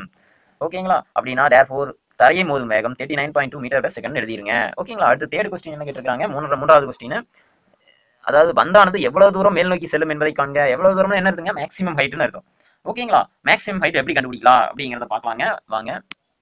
சரிங்க. நமக்கு தெரியும் மேக்ஸிமம் ஹைட்ல எது மேக்ஸிமம் ஹைட் எப்படி கண்டுபிடிக்கலாம்? ஃபஸ்ட் மேக்ஸிமம் ஹைட்ல திசை வேகம் பூஜ்ஜியமாக இருக்கும். மீ உயரத்தில் திசை வேகம் என்பது பூஜ்ஜியமாக இருக்கும். நீங்களே ஒரு பால் எடுத்து மேலே விசுனீங்கன்னா என்ன மேலே போய் கொஞ்ச நேரம் டீ குடிச்சிட்டு அப்புறம் ரிட்டர்ன் கீழே வந்துடும் ஒரு பரவளைய வடிவில் கீழே வரும் நமக்கு தெரியுங்க. அது படிச்சிருப்பீங்க. பேரபோலான்னு இங்கிலீஷ் சொல்லுவாங்க. பேரபோலிக் பாத் அப்படின்னு சொல்லுவாங்க. ஓகேங்களா அதனால மேக்ஸிமம் ஹைட் வீல ஜீரோவாக இருக்கும். இந்த கான்செப்டை வச்சு நம்ம மேலே ஏறதுக்கு எவ்வளவு டைம் ஆச்சு அப்படிங்கிறத கால்குலேட் பண்ணிக்கலாம். ஓகேங்களா அதாவது நமக்கு ஆல்ரெடி தெரியும். நான் சொன்ன முன்னாடி பக்கமே சொன்னேன். மேலே ஏறதுக்கு மொத்த நேரம் எட்டுனா அதுல மேலே ஏறக்கு ஃபோர் கீழே இறங்குற ஃபோர் ஈக்குவலாக பிரிக்கலாம். அந்த கான்செப்ட் வச்சு கூட நீ டி ஈக்குவல் டு ஃபோர் மேலே ஏற எடுத்துக்கொள்ளும் நேரம் டி ஈக்குவல் ஃபோர் டேரக்டாக கூட எழுதிக்கலாங்க. இல்லைன்னா இது மாதிரி மீ பெருமை வி ஜீரோவாக இருக்கும்னு சொல்லி ஜீரோ ஈக்குவேட் பண்ணி நீங்க டி ஈக்குவல் ஃபோர் செகண்ட் கொண்டு வரலாங்க. ரெண்டு கான்செப்ட்ல போல டேரக்டாக கூட எழுதிக்கலாம். வி நமக்கு தெரியும். அஹ் மேலே எடுத்துக்கொள்ளும் கால அளவு பிளஸ் கீழே இறங்க எடுத்துக்கொள்ளும் கால அளவு equal to eight therefore two into மேலே ஏற எடுத்துக்கொள்ளும் கால அளவு ஈக்குவல் எயிட் அப்படின்னா மேலே ஏற எடுத்துக்கொள்ளும் கால அளவு ஈக்குவல் டு ஃபோர் செகண்ட் அப்படின்னு டேரக்டா போட்டு தேர் ஃபோர் ஃபோர் செகண்டுங்கிறப்போ இடப்பயிற்சி எவ்வளவு ஆச்சு? அப்படிங்கிறத கண்டுபிடிக்கணுங்க. அப்படின்னா இடப்பயிற்சி ஃபோர் செகண்ட்ல எவ்வளவு தூரம் இடப்பயிற்சி அதாவது இடப்பயிற்சி என்னங்க மேல் நோக்கி ஏறுகிறது. ஓகேங்களா? இடப்பயிற்சி அப்படின்னா இங்க மேல் நோக்கி ஏறுகின்ற உயரம் மேக்ஸிமம் உயரம் மீப்பெரும் உயரம் ஹச்னு கூட சொல்லாங்க. S of four equal to ஃபோர்ங்கிற டைம்ல இது நடக்குது ஃபோர் செகண்ட்ல அது ஹைட் ஈக்குவல் டு இவ்வளவு இருக்குதுங்க. இதை இன்டூ பண்றீங்க. நூத்தி ஐம்பத்தி ஆறு புள்ளி எட்டு இது ரெண்டு இன்டூ பண்ணா வருதுங்க. அப்புறம் இது four point nine four square என்ன எழுதுறாங்க four point nine into sixteen எழுதுறாங்களா? That equal to நூற்றி ஐம்பத்தாறு புள்ளி. நூற்றி ஐம்பத்தாறு புள்ளி எட்டு minus seventy eight point four வருங்க. இன்டூ பண்ணி பாருங்க. மைனஸ் இந்த தட் ஈக்குவல் டு மைனஸ் பண்ணீங்கன்னா seventy eight point four metre அப்படின்னு வருங்க. இதுதான் வந்து maximum height which is required இது என்னங்க? மேக்ஸிமம் ஹைட் அப்படின்னு சொல்றோம். இதான் மேக்ஸிமம் ஹைட் மீ பெரும் உயரம். அந்த பால் செல்கின்ற பந்து செல்லும் மீ பெரும் உயரம் அப்படின்னு சொல்றோம். இதான் தேவையான விடை. புரிஞ்சுதுங்களா அந்த சமயம் இது கொஞ்சம் தியரட்டிக்கலாக இருக்குது ஒரு ஃபைவ் மார்க்லாம் முக்கியங்க. இது டுவெல்த்லேயே வருதுங்க. இந்த மாதிரி மாடலில் ஒரு சம் கொடுத்துருக்காங்க நீங்கள் அங்கே வந்தாலும் படிப்பீங்க. ஓகேங்களா சரி வாங்க. அடுத்த சம்முக்கு பார்க்கலாங்களா? ஃபிஃப்த் சம் எடுத்துக்கிட்டீங்கன்னா லெவன் பாயிண்ட் ஃபோரில் ஃபிஃப்த் சம் ஒருவருக்கு ஏற்பட்ட காயம் அதாவது உண்டுன்னு சொல்லுவாங்க ஆனது minus six per t plus two whole square centimetre square per நாள். அந்த நாள் எடுத்துக்கிட்டீங்கன்னா ஜீரோ லெஸ் தேன் டீங்கிறது நாளை குறிக்குதுங்க. ஜீரோட பெருசாக எடுத்துக்க சொல்கிறாங்க எட்டுக்கு சமமாக எடுத்துக்க சொல்லுங்க அப்படின்னு சொல்லியிருக்காங்க இந்த இடத்துல பார்த்தீங்கன்னா ஒன் டூ த்ரீ எண்ணிங்க எட்டு நாள் கவுண்ட் வருதுங்க. ஞாயிற்றுக்கிழமை வந்து அடுத்த ஞாயிற்றுக்கிழமை முடிய வரைக்கும் வருது. ஓகேங்களா? அப்படி இருக்கும்போது இப்படி இருக்குதுன்னு சொல்லியிருக்காங்க இப்படி எடுத்துக்கிட்டோம்னா அப்படி இருக்குதுன்னு சொல்லியிருக்காங்க அதான் கொஸ்டின்ல சொன்னது குழப்பிக்காதீங்க. என்ற வீதத்தில் ஞாயிற்றுக்கிழமை முதல் காயத்தின் பரப்பு குறைய ஆரம்பிக்கிறது குறைகிறது. ஞாயிற்றுக்கிழமை அன்னைக்கு அப்பதான் காயம் ஏற்பட்டுருக்குது. அப்ப வந்து குறை ஸ்டார்ட் கம்மியாகுது. பரப்பளவு அந்த ஏரியா சின்ன புண்ணு ரவுண்டா இருந்துச்சு அந்த பொண்ணு அப்படியே ஏரியா குறைஞ்சிட்டே இருந்துச்சுன்னா அது மாதிரி. திங்கட்கிழமை அன்று காயப்பகுதியின் பரப்பு இவ்வளவு இருக்குதுன்னு சொல்லிட்டாங்க. இது மாதிரி ஒன்று கொடுத்துருந்தாங்க அப்படின்னாவே அது ஒன்று கண்டுபிடிக்கிறதுக்கு நம்ம புரிஞ்சுக்கணும். ஓகேங்களா? ஈக்குவேட் பண்ணி கண்டுபிடிக்கணும். எனில் இங்கு டி என்பது நாட்களை குறிக்கிறது டேஸ் நம். ஓகேங்களா எத்தனை நம்பர் ஆஃப் டேஸ் அதை கவுண்ட் பண்ணுறீங்க டேஸை குறிக்கிறது. ஃபர்ஸ்ட் கொஸ்டின் ஞாயிற்றுக்கிழமை என்று காயப்பகுதியின் பரப்பளவு எவ்வளவாக இருந்திருக்கும் அப்படின்னா ஞாயிற்றுக்கிழமைங்கிறது ஆரம்ப நாள் அதாவது புண்ணான அன்னைக்கு. அப்போ வந்து ஸ்டார்ட் ஆகுதுன்னா புண்ணான பரப்பளவு எவ்வளவுன்னு கேட்கணும் நல்லா புரிஞ்சுங்க ஞாயிற்றுக்கிழமை தான் இனிஷியல் டே அந்த இனிஷியல் டே அன்னைக்கு எவ்வளவு ஏரியாவுக்கு புண்ணு இருந்தது? அதை கேட்கலாம் ஞாயிற்றுக்கிழமை அடுத்த நாள் திங்கக்கிழமைக்கு இவ்வளவு one point four centimetre square இருந்தது அப்படின்னா ஞாயிற்றுக்கிழமை இதோட பெருசாக இருந்திருக்குன்னு நீங்க புரிஞ்சுக்கணும் ஃபஸ்ட்டு ரெண்டாவது கொஸ்டின் இதே வீதத்தில் தொடர்ந்து குணமாகி கொண்டிருக்கும் போது வியாழக்கிழமை என்று எதிர்பார்க்கும் காயப்பகுதியின் பரப்பளவு எவ்வளவு இருந்திருக்கு வியாழக்கிழமை எவ்வளவு இருந்திருக்கு அப்படின்னா ஞாயிற்றுக்கிழமையை நாம கன்சிடர் பண்ணிக்கோங்க. ஞாயிற்றுக்கிழமையை first day initial day t வந்து ஜீரோன்னு எடுத்துக்கலாம். ஜீரோ திங்கக்கிழமை ஃபர்ஸ்ட் டே செவ்வாய்க்கிழமை செகண்ட் டே புதன்கிழமை தேர்ட் டே வியாழக்கிழமை என்ன வருதுங்க? டைம் ஃபோர் ஆயிருதுங்க. அப்படின்னா t equal to four t equal to காலம் நாலு நாலு நாளாக இருக்கும்போது நான்கு நாட்களாக இருக்கும்போது எவ்வளவா என்ன என்ன எவ்வளவு பரப்பளவு இருந்திருக்குன்னு கேட்டிருக்காங்க டி ஈக்குவல் டு ஃபோர்னு சொல்லி நாம போடணும். எதுல இதை டிஃபரன்சியேட் பண்ணி இது கொடுத்துருக்கிறது என்ன இருக்குங்க இவ்வளவு வேகத்தில் குறைகிறது அப்படின்னா என்ன ஆகுது? டிஏ பை டிடி கொடுத்துட்டான். ஏரியா அப்படின்னா ஏன்னு எடுத்துக்கலாம். ஏரியாவில் வந்து டிஏ பை டிடி கொடுத்துட்டான் அவ்வளவு வேகத்தில் நாலு வேகத்தில் குறைகிறதுன்னு சொல்லியிருக்கான். டி வந்து நாலுங்கிறப்ப எவ்வளவுன்னு கேட்டுருக்கான். இது டி ஈக்குவல் டு ஜீரோ அப்படிங்கிறப்ப என்னன்னு கேட்கலாம் சார் இங்க ஜீரோ எடுத்துக்கூடாதுங்கிறாங்க அப்படின்னு ஒரு குழப்பமான இருந்தாங்க இந்த இடம் கொடுத்துருக்கிறது ஒரு குழப்பமானதான் நாம கன்சிடர் பண்ணி நம்ம answer book answer t equal to ஜீரோன்னு சொல்லி தான் போட்டுருக்கோம் அது ஆக்சுவலா டி ஈக்குவல் டு ஜீரோ டூன்னு தான் ஆரம்பிச்சிருக்கோம். அந்த ஆக்சுவலா அந்த இடத்துல சின்ன மிஸ்டேக் இருக்குதுங்க. ஓகேங்களா அதை நடத்தும் போது எல்லா ஸ்கூல்லையும் சொல்லுவாங்க. இது புது புக்ல இப்போ மாத்திருப்பாங்க பார்த்துக்கலாம். ம் சரி ஓகே வாங்க ஆன்சர் பண்ண போகலாம் சரி எக்ஸைஸ் லெவன் பாயிண்ட் ஃபோர்ல தீர்வு. Let Sunday be the initial day அதாவது டி ஈக்குவல் டு ஜீரோன்னு எங்க அப்படின்னு நாம பேர் வச்சுக்கிறோங்க. தொடக்க நாள் எங்க அப்படின்னு எடுத்துக்கிட்டா தான் புக் ஆன்சர் வருங்க. தெளிவாக ஞாபகம் வச்சுக்கோங்க.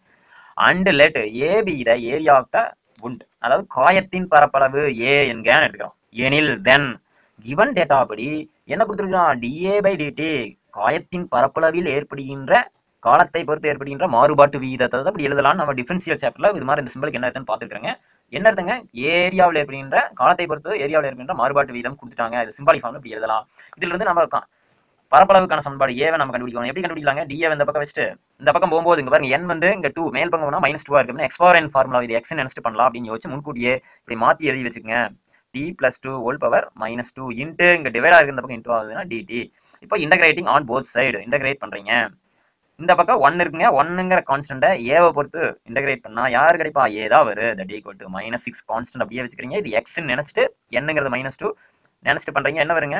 E plus two whole power minus two plus one minus one by minus one ஓகேங்களா பிளஸ் சி இன்டகிரேட்டிங் கான்ஸ்டன்ட் ஓகேங்களா நான் அடுத்த ஸ்டெப்ல இந்த மைனஸ் மைனஸ் ரிமூவ் ஆயிருங்க. பிளஸ் ஆயிரு. மைனஸ் ஒன் மேல இருந்து கீழே கொண்டு வந்து எழுதிக்கலாம். இதை வந்து A of t equal to six by t plus two power ஒன்னை போடணுங்கிறது இல்லை பிளஸ் சின்னு வச்சுக்கலாம். இது ஒன்னாவது ஈக்குவேஷன் கன்சிடர் பண்ணுறீங்க இப்போ கொஸ்டின்ல நமக்கு தக- தகவல் என்ன சொல்லியிருக்கிறான்? ஞாயிற்றுக்கிழமை முதல் காயத்தின் பரப்பளவு குறைகிறதுன்னு சொல்லியிருந்தான். அதனால இனிஷியல் டேவை நம்ம எதை எடுத்துக்கிறோம்? சண்டேவை நம்ம இனிஷியல் டேவா கன்சிடர் பண்ணுறோம் சண்டே ஓகேவா அதாவது இனிஷியல் தொடக்கத்தில் when t equal to zero இங்கே நம்ம டீ டி ஈக்குவல் டு ஜீரோன்னு எடுத்துக்கிறோம் இனிஷியல் டேவை அதனால initial day t equal to zero அப்படிங்கிறப்போ நம்ம வென் டி ஈக்குவல் டு ஜீரோங்கிறப்போ என்ன இருந்திருக்குன்னு நம்ம கண்டுபிடிக்க முடியாது. அதான் ஃபர்ஸ்ட் கொஸ்டின் கேட்டுருக்கான் என்ன கொடுத்துருக்காங்க கொஸ்டின்ல அப்படின்னு பார்க்கணும். என்ன கொடுத்துருக்காங்க திங்கக்கிழமை என்று காயத்தின் பரப்பளவு one point four centimetre square இருந்ததுன்னு சொல்லிட்டான். அப்படின்னா நம்ம திங்கட்கிழமை என்ன வருங்க? One day first day t equal to ஒன்னுங்கிறப்போ இது என்ன வருதுன்னு ஈக்குவேட் பண்ணோம்னா என்ன கொடுத்துருக்கான் area A of one equal to one point four centimetre square இது கிவன் இப்போ இதை ஈக்குவேட் பண்ணோம்னா வேலை முடிஞ்சுங்க ஆன்சர் கிடைச்சிடும் அதாவது டிக்கு நம்ம ஒன்னு இங்கே அப்ளை பண்ணிட்டு இங்கே ஏ ஆஃப் டிக்கு என்ன போட்டுக்கலாம். ஒன் பாயிண்ட் ஃபோர் போடணும். அப்படின்னா one point four equal by six by one plus two plus c அப்படின்னா one point four equal to six by three ஆயிரம் டூ சி ஓகேங்களா இப்போ நமக்கு சி வேணும். அப்படின்னா two plus C equal to one point four எழுதிட்டீங்க. C equal to one point four minus two that equal to big நம்பரோட sign minus அப்படின்னா minus zero point சிக்ஸ்னு வருங்க. இந்த சியை கொண்டு போய் ஒன்ல சப்ஸ்டிட் பண்ணணும். Put c equal to minus zero point six in one A of A of t equal to six by t two minus zero point சிக்ஸ்னு வந்து சென்றுங்க ஓகேங்களா இப்போ நம்ம ஃபர்ஸ்ட் கொஸ்டின் ஆன்சர் பண்ண போலாங்க. ஃபர்ஸ்ட் கொஸ்டின் என்ன கேட்டிருந்தான்? ஞாயிற்றுக்கிழமை என்று காயத்தின் பரப்பளவு. இதான் பரப்பளவு ஈக்குவேஷன் நம்ம கண்டுபிடிச்சிட்டோம். ஏரியா ஈக்குவேஷன் இதில் கொண்டு வந்து ஞாயிற்றுக்கிழமைக்கு என்ன வருங்க? ஃபர்ஸ்ட் கொஸ்டின் ஒன்னு when t equal to zero அதாவது ப்ராக்கெட்டில் சண்டே சண்டே அன்னைக்கு எப்படி இருந்தது ஏரியா அப்படின்னு பார்க்கலாம். அதுக்கு என்ன பண்ணுவாங்க இதில் சப்ஸ்ட் பண்ணுறீங்க A of zero equal to six by two minus zero point six அதாவது ஜீரோ ப்ளஸ் டூன்னு வருங்க. That equal to three minus zero point six equal to என்ன வந்துருங்க? உங்களுக்கு கழிச்சிங்கன்னா இப்படி இப்படி வச்சு கழிக்கணும். இது தெரிஞ்சுங்க. Two two zero point six இங்கே கடை வாங்கிங்கன்னா பத்து. இங்கே ரெண்டு தான் இருக்குது இங்கே பத்தில் ஆறு போனால் நாலு. இந்த ரெண்டு அப்படியே அரைக்கணும். அப்படின்னா இங்கே பிக் நம்பர் சைன் ப்ளஸ் அப்படின்னா two point four centimetre square அப்படின்னு நமக்கு வந்துருங்க ஆன்சர் ஓகேங்களா இது ஃபர்ஸ்ட் கொஸ்டின் ஆன்சருங்க இது ஒரு த்ரீ மார்க் கொஸ்டின் கேட்பாங்க. செகண்ட் கொஸ்டின் ஆன்சர் செகண்ட் என்ன கேட்டிருந்தாங்க? இதே வீதத்தில். கொஸ்டின் என்ன பாருங்க. இதே விதத்தில் தொடர்ந்து குணமாகி கொண்டிருக்கும் போது வியாழக்கிழமை என்று எதிர்பார்க்கும் காயப்பகுதியின் பரப்பளவு வியாழக்கிழமை. வியாழக்கிழமைங்கிறது எத்தனை நாளுங்க? சண்டே ஜீரோன்னு எடுத்துக்கிட்டோம். சண்டே ஜீரோ மண்டே ஒன்று செவ்வாய் மூணு. புதன் நாலு. தப்பா சொல்லிட்டுனா? சரிங்க சண்டே ஜீரோ மண்டே ஒன்று டியூஸ்டே ரெண்டு வெட்னஸ்டே மூணு தேர்ஸ்டே நாலு. அப்படின்னா t when t equal to four அதாவது உங்களுக்கு தேர்ஸ்டே அப்படிங்கிறது உங்களுக்கு வரும். வியாழக்கிழமை வியாழக்கிழமைங்கிறது நாலு வருங்க. இந்த டி ஈக்குவல் டு நாலுன்னு சொல்லி அப்ளை பண்ணீங்கன்னா எதில் அப்ளை பண்ணணும்? இந்த ஈக்குவேஷனில் கொண்டு வந்து நீங்கள் போடணும் இதில். இந்த சியை கண்டுபிடிச்சி வச்சிருக்கோம்ல இதில் கொண்டு வந்து போடுறீங்க. இது ஈக்குவேஷன் நம்பர் கூட நீங்கள் டூன்னு கொடுத்துக்கலாம். போட்டு டூவில் கொண்டு வந்து போடுறீங்க. அப்படின்னா A of four equal to six by four plus two எத்தனை ஆயிருங்க? Six minus zero point six equal to one minus zero point six that equal to ஒன்னில் ஜீரோ பாயிண்ட் சிக்ஸ் போனால் என்ன வரும் எப்படி கழிப்பீங்க? ஒன் பாயிண்ட் ஜீரோவில் ஜீரோ பாயிண்ட் சிக்ஸ் போனால் இங்கே கடை வாங்கினா பத்து இங்கே ஜீரோ பத்தில் ஆறு போனால் நாலு அப்படின்னா zero point four centimetre square இதுதான் நமக்கு வியாழக்கிழமை இருக்கக்கூடிய காயத்தின் பரப்பளவு. ஓகேங்களா? புரிஞ்சுதுங்களா அந்த சமயம்?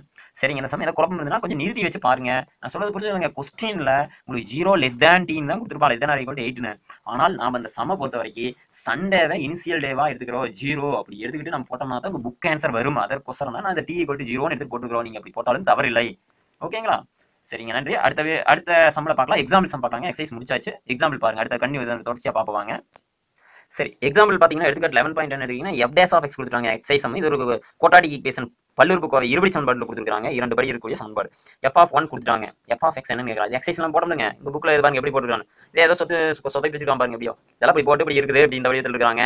என்ன தொகையில காணணும் அப்படின்னு சொல்லி போட்டுருக்காங்க. நம்ம இதை எப்படி போடுறதுன்னு பார்க்கலாம். வாங்க இந்த சமயம் சரி வாங்க. எடுத்துக்காட்டு லெவன் பாயிண்ட் ஒன்று எஃப் டேஸ் ஆஃப் எக்ஸ் கொடுத்துட்டாங்க. எஃப் ஆஃப் ஒன் கொடுத்துட்டாங்க. எனில் எஃப் ஆஃப் எக்ஸ் வந்து என்னன்னு கேட்டிருக்காங்க. சரி சார் நம்ம எக்ஸைஸ்ல ஃபஸ்ட் மூணு சம் போட்டுருக்காங்க இதே மாடல ஃபஸ்ட் ரெண்டு சம் சேம் அதே மாடல் ஃபஸ்ட் ரெண்டு சம் மாட்டோம். We know that f of x formula இது ஞாபகம் வச்சுக்கோங்க புக்ல வேற மாதிரி கொடுத்துருப்பாங்க. நீங்க பாத்துக்கலாம் நான் காமிச்சேன். F of x equal to integral f dash of x into dx f dash of x antiderivative பண்ணீங்கன்னா உங்களுக்கு எஃப் ஆஃப் எக்ஸ் கிடச்சிருந்து தெரியுங்க அதான் பண்ணி இருக்கிறோம் இதில் f dash of x given எடுத்து சப்ஸ்டிட் பண்ணிட்டு அடுத்த ஸ்டெப் இன்டெகிரல் பண்ணலாங்களா? வாங்க. த்ரீ அப்படியே வச்சுக்கிறேங்க எக்ஸ் ஸ்கொயர் பண்ணா எக்ஸ் கியூப் பை த்ரீன்னு ஆயிருங்க. மைனஸ் ஃபோர் இன்ட்டு எக்ஸ் பண்ணா பவர் இன்க்ரீஸ் ஆகு பை டூ ப்ளஸ் கான்ஸ்டன்ட் பண்ணா ஃபைவ் எக்ஸ் ப்ளஸ் ப்ளஸ் உங்களுக்கு என்ன வந்துருங்க? சி வந்துடும் ஓகேங்களா? இப்போ இதை கேன்சல் பண்ணிடலாம். த்ரீ த்ரீ கேன்சல் ஆயிரு. இதை அடிச்சிங்கன்னா டூ டைம்ஸ் அப்படின்னா என்ன வருங்க? F of x equal to x cube minus two x square plus five x plus சின்னு வருங்க. இதை நான் வந்து ஒன்னாவது ஈக்குவேஷன் வச்சுக்கிறேன் காரணம் என்னன்னா அந்த சியை கண்டுபிடிச்சு கொண்டு வந்து போடணும். அதுக்கு என்ன கின்ஸ் கொடுத்துருக்காங்க? F of one equal three நான் given f of one equal to த்ரீன்னு கொடுத்துருக்காங்க. அப்படின்னா இதை சப்ஸ்டிட் பண்ணலாம். One cube minus two into one square plus five into one plus c equal to three அப்படின்னா one minus two plus five plus c equal to three அப்படின்னா இதில் கழிங்க. அஹ் இது ரெண்டையும் கூட்டினா ஆறு ஆறு ரெண்டு ஒன்றா நாலு plus c equal to three அப்படின்னா c equal to three minus four equal to minus one அப்புறம் put. C equal to minus ஒன்னை எதில் பிரதியிடுங்க in equation number one we get நமக்கு தேவையான answer கிடைச்சிருங்க. F of x equal to x cube minus two x square plus five x plus சின்னு இருக்குதுங்க அப்படின்னா சிக்கு minus one போனீங்கன்னா minus one இதுவே தேவையான தீர்வாகும்.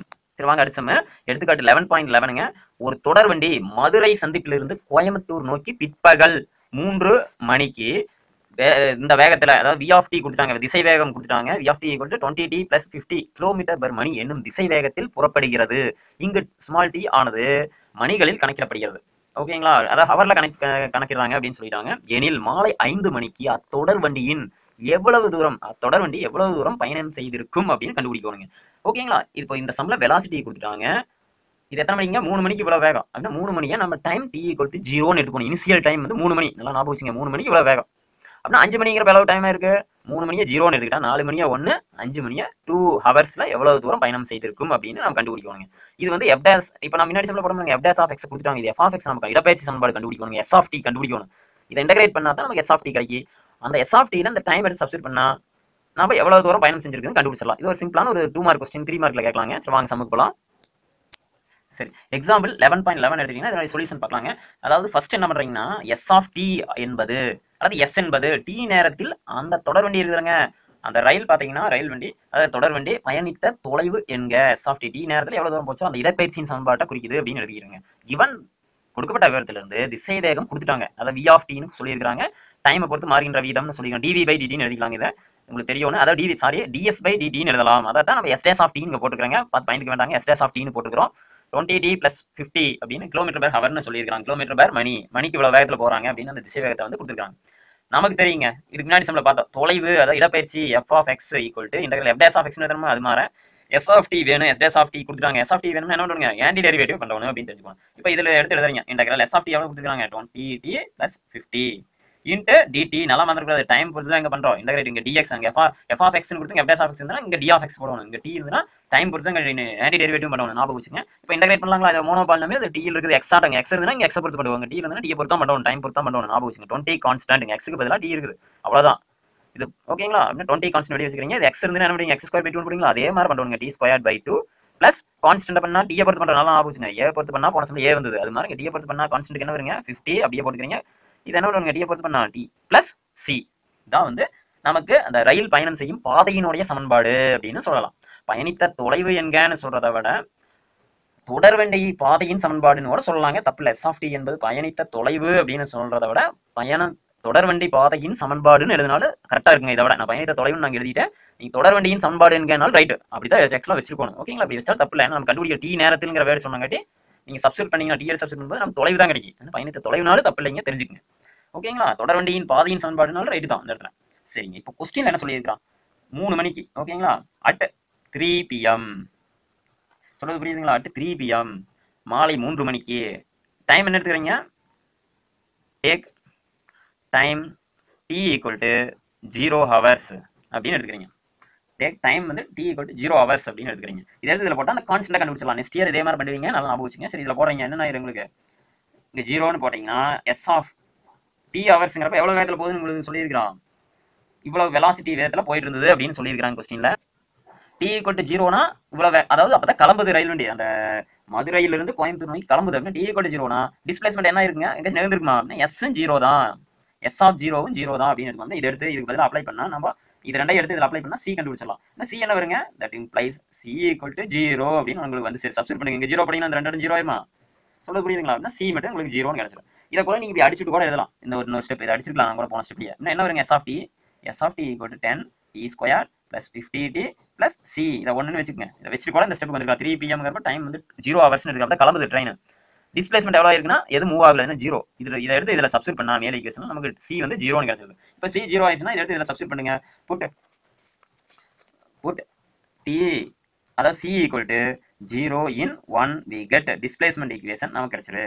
அப்படின்னா s of t equal to ten t squared plus fifty t plus zero ஆயிடுது. ஓகேங்களா இது வந்து ரெண்டாவது ஈக்குவேஷன் வச்சுக்கலாம். இது ரெண்டும் வைக்கலாம் வைக்க கூட தேவையில்லைங்க. அடுத்து கண்டிப்பாக நம்ம எழுதிட்டு வந்தாலும் ஒன்றும் அதெல்லாம் தப்பு இல்லை சரி இப்போ அடுத்து கொஸ்டின் என்ன சொல்லியிருக்கான்னு பார்க்கலாம் வாங்க. கொஸ்டினில் அஞ்சு மணிக்கு அட் ஃபைவ் பிஎம் அப்படிங்கிறப்போ மாலை ஐந்து மணிக்கு டைம் என்ன இருக்குங்க? டி ஈக்குவல் டு எத்தனை ஹவர்ஸுங்க மூணு மணிக்கு ஜீரோ ஏன்னா நாலு மணிக்கு ஒன்று அஞ்சு மணிக்கு டூ ஹவர்ஸ் ஆகிருக்கு ஓகேங்களா டூ ஹவர்ஸ் அப்படி அப்படி போயிருக்கும்போது A s of A of s of five வந்து என்னன்னு கேட்கலாம். எஸ் ஆஃப் ஃபைவ் இது எடுத்து சப்ஸ்டிட் பண்ணலாங்களா? அப்படின்னு அந்த டைம் எடுத்து இதில் போடுங்க. ஓகேங்களா அட் ஃபைவ் பிஎம்ல டி ஈக்குவல் டூ ஹவர்ஸ் அப்படின்னா then then s of five வந்து என்ன கொஸ்டின் மார்க் எனில். அப்படி இருந்தது எனில். எஸ் ஆஃப் ஃபைவ் டிஸ்பிளேஸ்மெண்ட் எவ்வளவு? அப்படின்னா S of five equal to ten into two squared plus fifty into two அப்படின்னா that equal to ten into four plus hundred அப்படின்னா that equal to one forty kilometre அப்படின்னு நமக்கு கிடச்சிருங்க. அப்படின்னா நீங்கள் எழுதும்போது மாலை ஐந்து மணிக்கு தொடர் வண்டி பயணித்த தொலைவு நூற்றி நாற்பது கிலோமீட்டர் அப்படின்னு எழுதிட்டீங்கன்னா போதுங்க. ஓகேங்களா சொல்ல புரியுதுங்களா? சரி அடுத்து பார்க்கலாங்களா? அடுத்த next example eleven point twelve பார்க்கலாங்க. ஒரு நபரின் உயரம் ஹெச் சென்டிமீட்டர் மற்றும் எடை டபிள்யூ கிலோகிராம் அவர்களின் எடை அவரின் எடை மாறும் வீதம். உயரத்தை பொறுத்து தோராயமாக DW by dh equal to four point three six four into ten to the power minus five h squared என கொடுக்கப்பட்டுள்ளது அப்படின்னா இதுதான் கிவன் இதிலிருந்து நாம எது என்ன கண்டுபிடிக்க சொல்றாங்க? எனில் எடையை உயரத்தின் சார்பாக அப்படின்னா எடை எடையினுடைய சார்பு ஃபங்க்ஷனை அதாவது வெயிட் ஃபங்க்ஷன் கண்டுபிடிக்க சொல்றாங்க. எதை பொறுத்துனா ஹெச்ங்கிறத வேரியபிளை பொறுத்து கண்டுபிடிக்க சொல்றாங்க. ஓகேங்களா சரி. அதாவது இந்த டிஹெச் அந்த பக்கம் கொண்டு போய் டபிள்யூ கண்டுபிடிக்க சொல்றாங்க. அதான் முதல் கொஸ்டின் ஃபர்ஸ்ட் கொஸ்டின் ரெண்டாவது கொஸ்டின் என்ன கேட்குறான் மேலும் ஒரு நபரின் உயரம். ஹைட் வந்து நூற்றி ஐம்பது சென்டிமீட்டராக இருக்கும்போது வெயிட் எவ்வளவு அப்படின்னு கேட்டிருக்கிறாங்க. இதான்ப்பா கொஸ்டின்ல கேட்டது. ஓகேங்களா சரி வாங்க. நம்ம ஆன்சர் பண்றதுக்கு போலாங்களா? வாங்க. சரிங்க. இது ஃபர்ஸ்ட் என்ன பண்ணணும் அப்படின்னு பார்த்தீங்கன்னா எடுத்துக்காட்டு பதினொன்று புள்ளி பன்னெண்டு. ஒரு நபரின் உயரம் ஹெச் சென்டிமீட்டர் மற்றும் எடை டபிள்யூ கிலோகிராம் என்கன்னு வச்சுக்கிறோம். Solution given dw by dh equal to four point three six four into ten to the power minus five h squared given எடுத்து எழுதிட்டோம் இதுலேருந்து டிஹெச் அந்த பக்கம் கொண்டு போயிடுறேங்க. டேன டபிள்யூ தான் நாம் கண்டுபிடிக்கணும். எடையை உயரத்தின் சார்பாக கண்டுபிடி. அதான் எடைச்சார்பு அப்படி கேட்டிருக்கிறாங்க.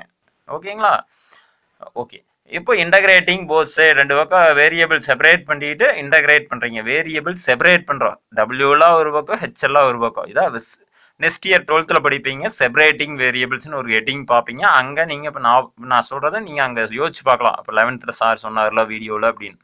சரி இன்டகிரேட்டிங் போத் சைடு இருபுறமும் தொகையிடன்னு தமிழில் சொல்லலாம். இந்த பக்கம் ஒன்று இருக்குங்க. டபிள்யூ பொறுத்து இன்டகிரேட் பண்ணோம்னா ஒன்று டபிள்யூ கிடச்சிருங்க. இது கான்ஸ்டன்ட் வெளியே வச்சுக்கிறோம். இது இருக்குது ஹெச் ஸ்கொயர்டு ஹெச் ஸ்கொயர்டு ஹெச்சை பொறுத்து. நல்லா பார்த்துங்க எக்ஸ் ஸ்கொயர் இருந்ததுன்னா எக்ஸை பொறுத்தே பண்ணலாம். ஹெச் ஸ்கொயர் இருந்ததுன்னா ஹெச் பொறுத்து பண்ணோம்னா ஹெச் கியூ பை த்ரீன்னு தான் வருங்க. இங்கே ஹெச் கோஎஃபிஷியன்ட் ஒன்று தான் இருக்குது அதனால ஒன் பை ஒன் இருக்குது அது போட வேண்டியதில்லை இல்லை. இங்கே லிமிட் கொடுக்குறீங்காட்டி ப்ளஸ் சி போட்டுக்கோணும் அப்படின்னு ஞாபகம் வச்சுக்கோங்க. சரி நமக்கு தெரியும். ஹைட்டு அதாவது ஒன்றுமே உருவாகாத போது வளர்ச்சியே இல்லாத வளர் ஹைட்டே ஜீரோவாக இருக்கும்போது எடை எப்படி இங்கே உருவாயிருக்குமா? உருவாயிருக்க முடியாதுல்லங்க. அதுனா வெயிட்டும் ஜீரோ இது ரெண்டையும் எடுத்து இந்த மேல் ஈக்குவேஷனை சப்ஸ்டியூட் பண்ணீங்கன்னா ஹெச்சுக்கு ஜீரோவுமே வெயிட்டுக்கு ஜீரோன்னு போட்டீங்கன்னா சி ஈக்குவல் டு ஜீரோன்னு வந்துடுங்க இந்த சியை கொண்டு போய் இதில் மேல் ஈக்குவேஷனில் போட்டால் நமக்கு தேவையான எடையை உயரத்தின் சார்பில் கண்டுபிடிக்க சொன்னதுக்கான ஆன்சர் நமக்கு கிடைச்சிரு. ஓகேங்களா? அடுத்தது செகண்ட் கொஸ்டின் வென் ஹெச் வந்து ஒன் ஃபிஃப்டி சென்டிமீட்டராக இருக்கும்போது வெயிட் என்னன்னு கேட்டிருக்கிறாங்க. அதாவது ஹெச் இதில் எடுத்து ஹைட்டை ஹெச் வந்த இடத்துல ரைட் சைடு சப்ஸ்டியூட் பண்ணுறீங்க நல்லா சப்ஸ்டியூட் பண்ணும்போது இங்கே பாருங்க நான் த்ரீயால் இதை அடிச்சிட்டேங்க. கேன்சல் பண்ணேன்னா சைடில் உங்களுக்கு போட்டு காமிச்சிருப்பேன். Four point three six four அப்படின்னு த்ரீயால் அடிக்கிறீங்க. த்ரீ மீதி ஒன்று ஒன் டைம் மீதி ஒன்று ரிமைண்டர் த்ரீயை கீழே இறக்கிறேன் ஃபோர் டைம்ஸ் டுவெல்லு ரிமைண்டர் ஒன்று சிக்ஸை கீழே இறக்குறேங்க ஃபைவ் டைம்ஸ் ஃபிஃப்டீன் மீதி ஒன்று ஃபோரை கீழே இறக்குறேங்க இப்போது ஃபோர் டைம்ஸு டுவெல்லு ஃபோர் மேலே போட்டு கீழே டுவெல்ல இருக்கிறேங்க டூ வருதுங்க. இப்போ பாயிண்ட்டுங்க ஆல்ரெடி மேலே வச்சுட்டுங்காட்டி இங்கே ஜீரோ சேர்த்திக்கலாம். ஒரு ஜீரோ சேர்த்துறீங்க சிக்ஸ் டைம்ஸ் எயிட்டீன் மறுபடியும் ரிமைண்டர் டூ வந்துருச்சு. இதே மாதிரி சிக்ஸ்டி எயிட்டீன் எயிட்டீன் வரும்போது ரிமைண்டர் டூ வந்துட்டே இருக்கு. சிக்ஸ் சிக்ஸ் சிக்ஸ்னு போயிட்டே இருக்குது ரவுண்ட் பண்ணி நான் த்ரீ டெசிமல் பிளேஸில் ஃபோருக்கு அப்புறம் சிக்ஸ் வந்தங்காட்டி நான் இதை வந்து ஃபைவ்னு இங்கே சேர்த்து எழுதியிருக்கிறேங்க. நீங்கள் ஃபுல்லாக சிக்ஸ் செவன் கூட எழுதி இங்கே போடலாம். தப்பு இல்லை நம்ம ஆன்சர் அப்ராக்சிமேட்டாக தான் சொல்கிறோம் அப்புறம் இந்த ஃபிஃப்டீன் ஹெச்எஸ் கியூப்னு சொல்கிறது ஹெச்சுக்கு மட்டும் தான் கியூப்புங்க அப்படின்னா ஃபிஃப்டீன் எடுத்து சப்ஸ்டியூட் பண்ணுறீங்க ஃபிஃப்டீன் கியூப் இன்ட்டு டென் கியூப்னு நான் பிரிச்சுக்கிட்டேங்க. இப்படி எழுதியிருக்கிறேன். ஃபிஃப்டீன் கியூபுக்கு ஆன்சர் நான் கண்டுபிடிச்சி பார்த்தேன். Fifteen into fifteen two two twenty five two twenty five into fifteen three thousand three hundred and seventy five வருதுங்க. மூணாயிரத்தி முந்நூற்றி எழுபத்தஞ்சு அதை எடுத்து போட்டுக்கிட்டேங்க இன்ட்டு பண்ணி. இந்த டென் கியூப் இங்கே பாசிட்டிவ் இருக்குதுங்க பேஸ் ரெண்டு சேமாக இருந்தால் பவரை கூட்டலாம். அந்த அடிப்படையில் பிக் நம்பரோட சைன் மைனஸ் அது மைனஸ் டூ வந்துடுதுங்க ஓகேங்களா இப்போ இது ரெண்டையும் இன்டூ பண்ணுறாங்க இது ரெண்டையும் இன்டூ பண்ணுறதுங்க போட்டு காமிச்சிருப்பேன். டெசிமல் த்ரீ டெசிமல் ப்ளஸ் தள்ளி இங்கே புள்ளி வச்சிருப்பேன். அதான் இங்கே எடுத்து எழுதி இருக்குதுங்க போட்டு பாருங்க. கீழே கரெக்டாக அடிச்சு போடுங்க. இங்கே இங்கே டென் பவர் மைனஸ் டூனா லெஃப்ட் சைடு போகணுங்க. பாயிண்ட்டு ஆல்ரெடி இருக்கிற பாயிண்ட் வந்து லெஃப்ட் சைடு டூ பாயிண்ட் தள்ளி போகணும். அப்படி போகும்போது forty nine point one zero six two ஃபைவ்னு வருங்க. இதை ரவுண்ட் பண்ணி ஃபார்ட்டி நைன் கிலோகிராம் அப்படின்னு எழுதிக்கிற இதுதான் நமக்கு தேவையான நூற்றி ஐம்பது சென்டிமீட்டர் உயரம் இருக்கிற ஒரு நபரின் எடை அப்படின்னு நமக்கு கிடைக்குதுங்க. அதாவது இந்த கொடுக்கப்பட்ட சார்பு சார்பை அடிப்படையாக கொண்டு நூற்றி ஐம்பது சென்டிமீட்டர் ஹைட் இருக்கிறவங்களோட எடை வந்து நாற்பத்தொம்பது கிலோகிராம் இருக்குது அப்படிங்கிறத நாம் இந்த சம் மூலியமாக நம்ம கால்குலேட் பண்ணி கொண்டு வந்திருக்கிறோம். ஓகேங்களா சொல்கிறது புரியுதுங்களா? சரி ஓகே. நெக்ஸ்ட் சம் நாம் பார்க்க போறது. அடுத்த சம்மு ஒரு மரம் சம்பந்தமானது. அது உயரம் உங்களுக்கு அதுல வருதுங்க. வாங்க. அதாவது எடுத்துக்காட்டு பதினொன்று புள்ளி பதிமூணு. ஓகேங்களா? ஒரு மரத்தின் வளர்ச்சி டி ஆண்டுகளில் eighteen by root t centimetre per ஆண்டு எனும் வீதத்தில் வளர்கிறது அதை நாம் மாற்றி உயர்கிறது உயரம் அதிகரித்து கொண்டுள்ளது அப்படின்னு வச்சுக்கலாங்க. ஓகேங்களா? சரி. T equal to zero time வந்து ஜீரோ ஆண்டுகளாக இருக்கும்போது ஏன்னா ஆண்டுகளில் கொடுத்தீங்கன்னா ஆண்டாக இருக்கும்போது. ஜீரோ ஆண்டுனா தொடக்க ஆண்டு ஆரம்பத்தில். செடி சின்னதாக இருக்கும்போது ஓகேங்களா? ஸோ அதாவது ஜீரோவாக இருக்கும்போது அப்போ இருந்து டைம் ஜீரோவாக இருக்கும்போது டி ஜீரோவாக இருக்கும்போது உயரம் எவ்வளவு? அஞ்சு சென்டிமீட்டர் ஹைட் இருக்கக்கூடிய ஒரு சின்ன நாத்துன்னு சொல்லுவோம்லங்க மரம் நாட் மரம் நடுறக்கு கொண்டு வரும்லங்க அந்த அஞ்சு சென்டிமீட்டரா இருக்கும் என கொண்டால் நான்கு ஆண்டுகளுக்கு பிறகு மரத்தின் உயரத்தை காண்க. முதல் கொஸ்டின் ரெண்டாவது கொஸ்டின் எத்தனை ஆண்டுகளுக்கு பிறகு? எத்தனை வருடம்? டைம் கேட்குறாப்புல ஹெச் வந்து ஒன் ஃபார்ட்டி நைன் சென்டிமீட்டராக வளர்ந்திருக்கும். எத்தனை ஆண்டுகளில் ஒன் ஃபார்ட்டி நைன் சென்டிமீட்டர் வளரும் அப்படின்னு கேட்டிருக்கிறாங்க. சரி வாங்க. சொல்யூஷன் பார்க்க போகலாம் ஃபஸ்ட்டு கொஸ்டின் நல்லா பார்த்துங்க ஃபஸ்ட்டு அஞ்சு சென்டிமீட்டர் இருக்கக்கூடிய ஒரு செடி நடுறாப்புல அப்போ டைம் ஜீரோன்னு வச்சுக்கிறாப்புல டைம் வந்து அவனே கொஸ்டின்லேயே கொடுத்துட்டா ஜீரோன்னு எடுத்துக்கணும் அதாவது தொடக்கத்தில் ஆரம்பத்தில் இனிஷியலி அப்படின்னு சொல்லணுங்க அது. அப்புறம் அது வளர்ற ஈக்குவேஷன் கொடுத்துட்டான். வளர்ச்சியில் உயரத்தில் ஏற்படுகிற மாறுபாட்டு விதம் காலத்தை பொறுத்து டைமை பொறுத்து மாறு டிஹெச் பை டிடி கொடுத்துட்டான்னு அர்த்தம். அல்லது ஓகேங்களா சொல்கிறது புரியுதுங்களா? இப்போ நான்கு ஆண்டுகளுக்கு பிறகு டி ஈக்குவல் டு ஃபோர்னா என்ன? அப்புறம் நூற்றி ஐம்பது சென்டிமீட்டர் எப்போ வளரு அப்படின்னு ரெண்டு கொஸ்டின் கேட்டிருக்கிறாங்க. இது ஒரு த்ரீ மார்க்கில் கேட்கலாங்க. சரி ஓகேங்களா? சரி வாங்க. நம்ம ஆன்சர் பண்ண போலாங்களா? இந்த சம்முக்கு பேர் நான் ட்ரீ சம்முன்னு பேர் வச்சிருக்கிறேங்க. எடுத்துக்காட்டு பதினொன்று புள்ளி பதிமூணு சொல்யூஷன் தீர்வு. தமிழ் மீடியம் தமிழில் பார்த்துங்க இங்கிலீஷ் மீடியம் இங்கிலீஷில் படிச்சுங்க ஒரு சில இடத்துல நான் கொடுக்கல அப்படின்னா உங்களுக்கு புரியும்னு நினைக்கிறேன். எல்லாம் இங்கிலீஷ் படிச்சிருக்கிறீங்க தெரிஞ்சுக்குவீங்கன்னு நினைக்கிறேன். சரி ஹெச் என்பது டி நேரத்தில் ஸ்மால் டி டைமை குறிக்குதுங்க காலத்தை குறிக்கிறது. ஹெச்ங்கிறது உயரத்தை குறிக்கிறது வளருகிறது அப்படின்னாவே உயரம் அதிகரிக்கிறது தான் மீனிங் பண்றாங்க. நான் ஹெச்ன்னு பேர் வச்சுக்கிறேன். ஹெச் என்பது டி நேரத்தில் மரத்தின் உயரம் என்க. இங்கிலீஷ் சொன்னா ஹெச் டினோட் டினோட் பண்றது எதைனா ஹைட் ஆஃப் த ட்ரீ எப்பனா அட் எனி டைம் டீன்னு கூட எழுதலாம். ஏதேனும் ஒரு நேரத்தில் மரத்தின் உயரம் அப்படின்னு கூட சொல்லலாம். ஓகேங்களா முதல் டைம் கிவன் தட் இப்போ அப்படின்னா கிவன் தட் என்ன சொல்றான்? உயரத்தில் ஏற்படுகின்ற காலத்தை பொறுத்த மாறுபாட்டு விதத்தை டிஹெச் பை டிடின்னு எழுதலாம். அதை கொடுத்துட்டாங்க. இதுல இருந்து நம்ம ஹைட் ஹைட் ஈக்குவேஷன் நம்ம கண்டுபிடிக்கணும். உயரத்தின் சமன்பாடு கண்டுபிடிக்கணும். அப்படின்னா அந்த டிடியை வந்து அந்த பக்கம் அனுப்பிச்சு விட்டோம்னா இப்படி மாறிடும் எயிட்டீன் இன்ட்டு ஒன் பை ரூட்டின் நான் பிரிச்சுக்கிட்டேங்க அடுத்த ஸ்டெப் இன்டகிரேட்டிங் போத் சைடு இருபுறமும் தொகையிட நமக்கு கிடைப்பது. இன்டகரல் இந்த பக்கம் இன்டகிரேட் பண்ணோம்னா ஹெச் கிடைச்சிரும். அந்த பக்கம் நல்லா பார்த்துக்கோணும் எயிட்டீன் கான்ஸ்டன்ட் வெளியே வச்சுக்கிறீங்க. ஒன் பை ரூட் டி அப்படின்னா என்ன வரும் இங்க நல்லா பார்த்துங்க டி இங்கேயும் டி டீயை பொறுத்தே தான் பண்ணுறோம் அப்படின்னா எக்ஸ்ன்னு நீ நினச்சிட்டு பண்ணலாம். ஒன் பை ரூட் எக்ஸ் என்ன பண்ணுவோம் டூ ரூட் எக்ஸ்னு எழுதுவோம் ஃபார்முலா இதுக்கு முன்னாடி எக்ஸசைஸ் ஸ்டார்டிங்ல இருந்து சொல்லிட்டு வரேங்க. இல்லை தெரிஞ்சுக்குங்க போகாது. ஒன் பை ரூட் டீயை பண்ணா ஒன் பை ரூட் எக்ஸை பண்ணா எக்ஸை பொறுத்து பண்ணோம்னா டூ ரூட் எக்ஸ்னு வரும். இங்கே டி இருக்கிறங்காட்டி டூ ரூட் டீன்னு வருது அப்படின்னு ஞாபகம் வச்சுங்க. ப்ளஸ் லிமிட் கொடுக்கலிங்காட்டி இன்டகிரேட்டிங் கான்ஸ்டன்ட் போடணும். சரி அப்படின்னா eighteen into two thirty six root t plus c இதை ஃபர்ஸ்ட் ஈக்குவேஷன் வச்சுக்கிறோம். எதுக்காக வைக்கிறோம்னா இது சியை கண்டுபிடிச்சு கொண்டு வந்து இதில் போடணும். கொஸ்டின்ல தெளிவாக கொடுத்துருந்தாங்களா? டி ஈக்குவல் டு ஜீரோ இயர்ஸாக இருக்கும்போது உயரம். ஹைட் எவ்வளோ எத்த எத்தாச்சோட நாற்று வச்சாங்க? அஞ்சு சென்டிமீட்டர் இருக்கக்கூடிய ஒரு சின்ன செடியாக ரொம்ப சின்ன செடியாக விதையிலேருந்து முளைச்சி வந்து அஞ்சு சென்டிமீட்டர் வந்திருக்கிற ஒரு செடியை நட்டு வச்சாங்க. அந்த ஆண்டை ஜீரோ ஆண்டு நடுகின்ற ஆண்டை ஜீரோ ஆண்டுன்னு எடுத்துக்கிட்டாங்க. அவனே கொஸ்டின்ல சொல்லிட்டான். இதே கிரியேட்டிவ் கொஸ்டின் ரெண்டாயிரத்துல நட்டான் அப்படின்னா ரெண்டாயிரத்தி அஞ்சுல எவ்வளவு வளர்ந்துருக்கு அப்படின்னு கூட கேட்கலாம். ஓகேங்களா சரி அது மாதிரி ஒரு question initial t equal to ஜீரோனா height கொடுத்துட்டான். இது எதுக்காக கொடுத்துருக்குறான்னா அந்த சியை கண்டுபிடிக்கிறதுக்கு. ஓகேங்களா கான்ஸ்டன்ட் இப்போ இதை எடுத்து அப்ளை பண்ணணும் இதுக்கு பதிலாக ஃபைவ் இங்கே ஜீரோன்னு போட்டிங்கன்னா இது மொத்தமாக போயிரு. சி ஈக்குவல் டு ஃபைவ்னு வந்துரு. இந்த சியை கொண்டு போய் என்ன பண்ணுவானுங்க இந்த ஃபர்ஸ்ட் ஈக்குவேஷனில் போட்டு ஹைட் ஈக்குவேஷன் வளர்ச்சி சமன்பாடை கண்டுபிடிச்சுக்கோணும். உயரத்தின் சமன்பாடு வளர்ச்சி சமன்பாடுன்னு சொல்லலாம். ஹைட் ஈக்குவேஷன் சொல்லலாம் இங்கிலீஷில். இதை ரெண்டுன்னு வச்சுக்கிறாங்க. நீங்கள் ரெண்டுன்னு வைக்கலாம் இல்லை தொடர்ச்சியாக கூட எழுதிட்டு வரலாங்க. ஒன்றும் பிரச்சனை இல்லை. நான் எதுக்காகன்னு சொன்னால் ரெண்டுன்னு வச்சுட்டு சைடில் போட்டு டூன்னு போட்டிருப்பேன். இதெல்லாம் அந்த வேன்னு எடுத்துக்கிறத அது டூவில் தான் போடுவீங்க. சரி okay first question when t equal to four இயர்ஸாக இருக்கும்போது ஹெச் ஆஃப் ஃபோர்னு எழுதலாங்களா? ஹெச் ஆஃப் டி ஏன்னா ரைட் சைடு வேரியபிள் என்ன இருக்குதுங்க? டி மட்டும்தான் இருக்குது. மீதியெல்லாம் கான்ஸ்டன்ட் தான். அதுன்னா ஹெச் ஆஃப் டின்னு எழுதலாம். உதாரணத்துக்கு எக்ஸ் இருந்ததுன்னா ஃபங்க்ஷன் ஆஃப் எக்ஸ்னு எழுதுறோம்ல அது மாதிரி ஸ்மால் டி டைம் டி அது இருக்கிறங்காட்டி ஹெச் ஆஃப் டீன்னு எடுத்துக்கலாம். அப்படின்னா டி ஈக்குவல் டு ஃபோர்னு போட்டிங்கன்னா ஹெச் ஆஃப் ஃபோர் என்னன்னு கண்டுபிடிக்கணும். அதாவது தமிழில் சொன்னால் டி ஈக்குவல் டு நான்கு ஆண்டுகளுக்கு பின் மரத்தின் உயரம் என்ன அப்படின்னு கேட்டிருந்தான் முதல் கொஸ்டின் அதை எடுத்த அப்படின்னா டீக்கு பதிலாக அங்கே போட்டிங்கன்னா ரூட்டு ஃபோர் டூ ஆயிருங்க. Thirty six into two seventy two seventy two plus five seventy seven சென்டிமீட்டராக இருக்கும். அதாவது இந்த டி ஈக்குவல் டு ஃபோரையுமே இதை எடுத்து இதில் டூவில் சப்ஸ்டியூட் பண்ணுறீங்க நமக்கு தேவையான நான்கு ஆண்டுகள் மரத்தின் உயரம் எழுபத்தி ஏழு சென்டிமீட்டர் வளர்ந்து விடும் அப்படின்னு வந்திருக்குதுங்க. சரி அடுத்தது செகண்ட் கொஸ்டின் என்ன கேட்டிருந்தான்? உயரத்தை கொடுத்துட்டு எத்தனை ஆண்டுகள் ஆகுன்னு கேட்டிருந்தான். அப்படியே ஆப்போசிட்டா இதெல்லாம் நீங்க டென்த்ல கிராப்ல எல்லாம் போட்டிருப்பீங்க. இது மாதிரி கிராப்ல ஜாயின் பண்ணி போடுறது. எக்ஸ் கொடுத்துட்டு ஒய்ய கேப்பா? ஒய்ய கொடுத்துட்டு எக்ஸ் அதே சேம் கேட்டகரி தாங்க இது. லோயர் கிளாஸ்ல படிச்சிருப்பீங்க.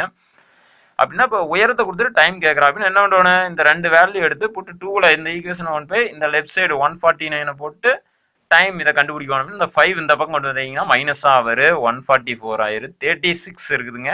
தேர்ட்டி சிக்ஸால் டேரெக்டாக அடிக்க தெரியலைன்னா ஒவ்வொன்றா அந்த ரவுண்ட் போய் அடிங்க தப்பு இல்லை. நான் தேர்ட்டி சிக்ஸால் டேரெக்டாக பண்ணிட்டேங்க ஃபோர் வந்துருதுங்க. இந்த ரூட் டீயை கேன்சல் பண்ணுறதுக்கு போத் சைடு ஸ்கொயர் பண்ணியிருக்கிறேன். அப்படி பண்ணும்போது இங்கே டி ஆயிரும் அந்த ஃபோர் ஸ்கொயர் சிக்ஸ்டீன் இயர்ஸ் ஆண்டுகள் அப்படின்னு நமக்கு கிடச்சிரு ஆக மொத்தத்தில் உயரம் நூற்றி நாற்பத்தொம்போது சென்டிமீட்டர் வளர மரம் பதினாறு ஆண்டுகள் ஆகும். மரம் வந்து பதினாறு ஆண்டுகள் வளரணும். அப்பதான் நூத்தி நாற்பத்தொன்பது சென்டிமீட்டர் வரும் வளர்ந்திருக்கும் அப்படின்னு சொல்றோம். ஓகேங்களா புரிஞ்சுதுங்களா அந்த செம்ம? சரி அடுத்த செம் பார்க்கலாங்களா? நிறுத்தி வச்சு பார்த்துக்குங்க புரியலைன்னா? ஓகே அடுத்த சம் லாஸ்ட் செம்முங்க. நம்ம பார்க்குறதுல கடைசி செம்மு மோட்டார் பைக் செம்மு. இது எப்படி இங்கே கொடுத்தாங்கன்னு எனக்கு தெரியலைங்க. எடுத்துக்காட்டு பதினொன்று புள்ளி பதினாலு ஏன் சொல்கிறேன் அப்படின்னா ஒரு மாணவன் நல்லா நோட் பாயிண்ட் மாணவன் ஒருவர். தன் மோட்டார் சைக்கிளில் இது ஒரு ப- பன்னெண்டாம் வகுப்பு படிக்கிற மாணவனுக்கு இது மாதிரி கொஸ்டின் கேட்டிருக்க கூடாது. இப்படி ஒரு படத்தை போட்டு ஆசையை தூண்டி இருக்கக்கூடாது ஓகேங்களா? மாணவன் வந்து ஒரு கல்லூரி மாணவர் ஒருவர் மாணவி ஒருவர் தன் மோட்டார் சைக்கிளில் அப்படின்னு போட்டிருந்தா பிரச்சனை இல்லைங்க. மாணவன் சொல்லி பள்ளிக்கூட பன்னெண்டாம் வகுப்புல வச்சது பதினெட்டு வயசு பூர்த்தி அடையாம லைசென்ஸ் வாங்காம வண்டி ஓட்டக்கூடாது அப்படி ஓட்டினா பெற்றோரை பிடிச்சி உள்ளுக்கு வச்சிருவாங்க. இல்லைன்னா ஃபைன் கட்டணும். அது மாதிரி இருக்குதுங்க. பார்த்துக்குங்க சரி. நம்ம இது இருந்தாலும் இது பேரை மாற்றணும் அப்படின்னு ஒரு பேர் அப்படின்னு மட்டும் போட்டிருக்கலாம். அதை அடிச்சு விட்ருலாங்க ஒரு பேர் தன் மோட்டார் சைக்கிளில் இருபத்தி நாலு மீட்டர் பெர் வினாடி வேகம். வேகம்னாவே என்னங்க? திசை வேகம். வெலாசிட்டி கொடுத்துட்டான். அந்த வேகத்தில் போயிட்டு இருக்கா. வெலாசிட்டி நல்லா பார்த்துங்க வெலாசிட்டி கொடுத்துட்டாங்க. வி கொடுத்துட்டாங்க. கிவனில் அப்புறம் முன்பாக எத்தனை சொல்றாங்க? ஒரு குறிப்பிட்ட தருணத்தில் ஒரு சடனா பிரேக் போட வேண்டிய ஒரு சூழ்நிலை. முன்னாடி ஒரு திடீர்னு ஏதோ வந்துருச்சு வேகத்தடையோ இல்ல ஒரு தடுப்பு இருக்குதாமா? அதுல மோதக்கூடாது திடீர்னு ஒரு வண்டிக்காரன் பிரேக் போட்டு நின்றுட்டான் நாற்பது மீட்டர் தொலைவில் இருக்கும்போது திடீர்னு பிரேக் போட்டான்னு வைங்க. ஒரு தடுப்பு சுவர் இருக்குது டேக் டைவர்ஷன் அது மாதிரி இருக்குதுன்னு வச்சுக்கலாம். மோதலை தவிர்க்க வாகனத்தை நிறுத்த வேண்டியுள்ளது. சடனா நாமளும் பிரேக் போடணும் இல்லைன்னா நாற்பது மீட்டர் தான் இருக்குது. அந்த வண்டிக்கு நம்மளுக்குமே இல்லைன்னா அந்த ஒரு தடுப்புக்குமே நமக்குமே அப்படி ஒரு ஸ்பீடு பிரேக்குக்கு நமக்கு அப்படி வச்சுக்கலாம். உடனடியாக தன்னுடைய வாகனத்தை எட்டு மீட்டர் பெர் வினாடி ஸ்கொயர் எதிர் முடுக்கத்தில் எதிர் முடுக்கம். இங்க பாருங்க. ஆக்சலரேஷன் ஆப்போசிட் ஆக்சலரேஷன் எதிர் முடுக்கம்னா நெகட்டிவ் ஆக்சலரேஷன் அப்படின்னு கூட எடுத்துக்கலாம். அப்படின்னா இது என்ன வண்டிக்கோணுங்க acceleration dv by dt minus eight metre per second square கொடுத்துட்டான் நெகட்டிவ்ல எடுத்துக்கோணுங்க எதிர் முடுக்கங்காட்டி. வேகத்தை குறைக்கிறார் எனில் வாகனம் தடுப்பின் மீது மோதுவதற்கு முன் நிறுத்தப்படுமா? நிக்குமா? அப்படின்னு கேட்டிருக்கான் ஆம் இல்லை நின்றுவிடும் அப்படின்னு சொல்லணும் நிக்குமா? நிக்காதா? அதை எப்படி செக் பண்றதுங்க? நாற்பதை விட. இந்த நாற்பது மீட்டர் தொலைவில் தான் இங்கே இருக்குது ஸ்பீடு பிரேக் அப்படின்னு வச்சுக்கோங்க.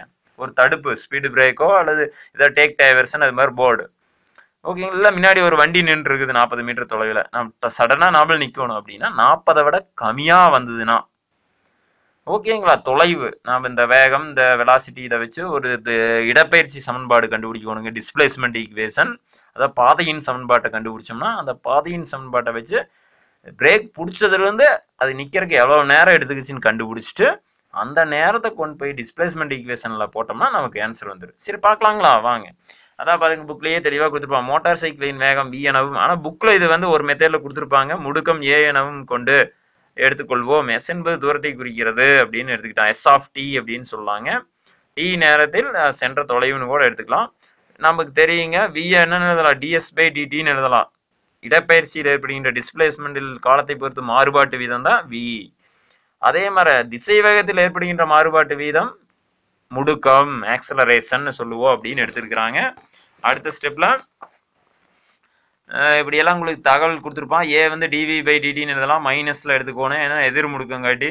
அப்புறம் இந்த டிடி அந்த பக்கம் அனுப்பிச்சுட்டு ரெண்டு பக்கம் இன்டகிரேட் பண்ணி வி கண்டுபிடிக்கிறீங்க. சி ஒன் வச்சுக்கிறோம்.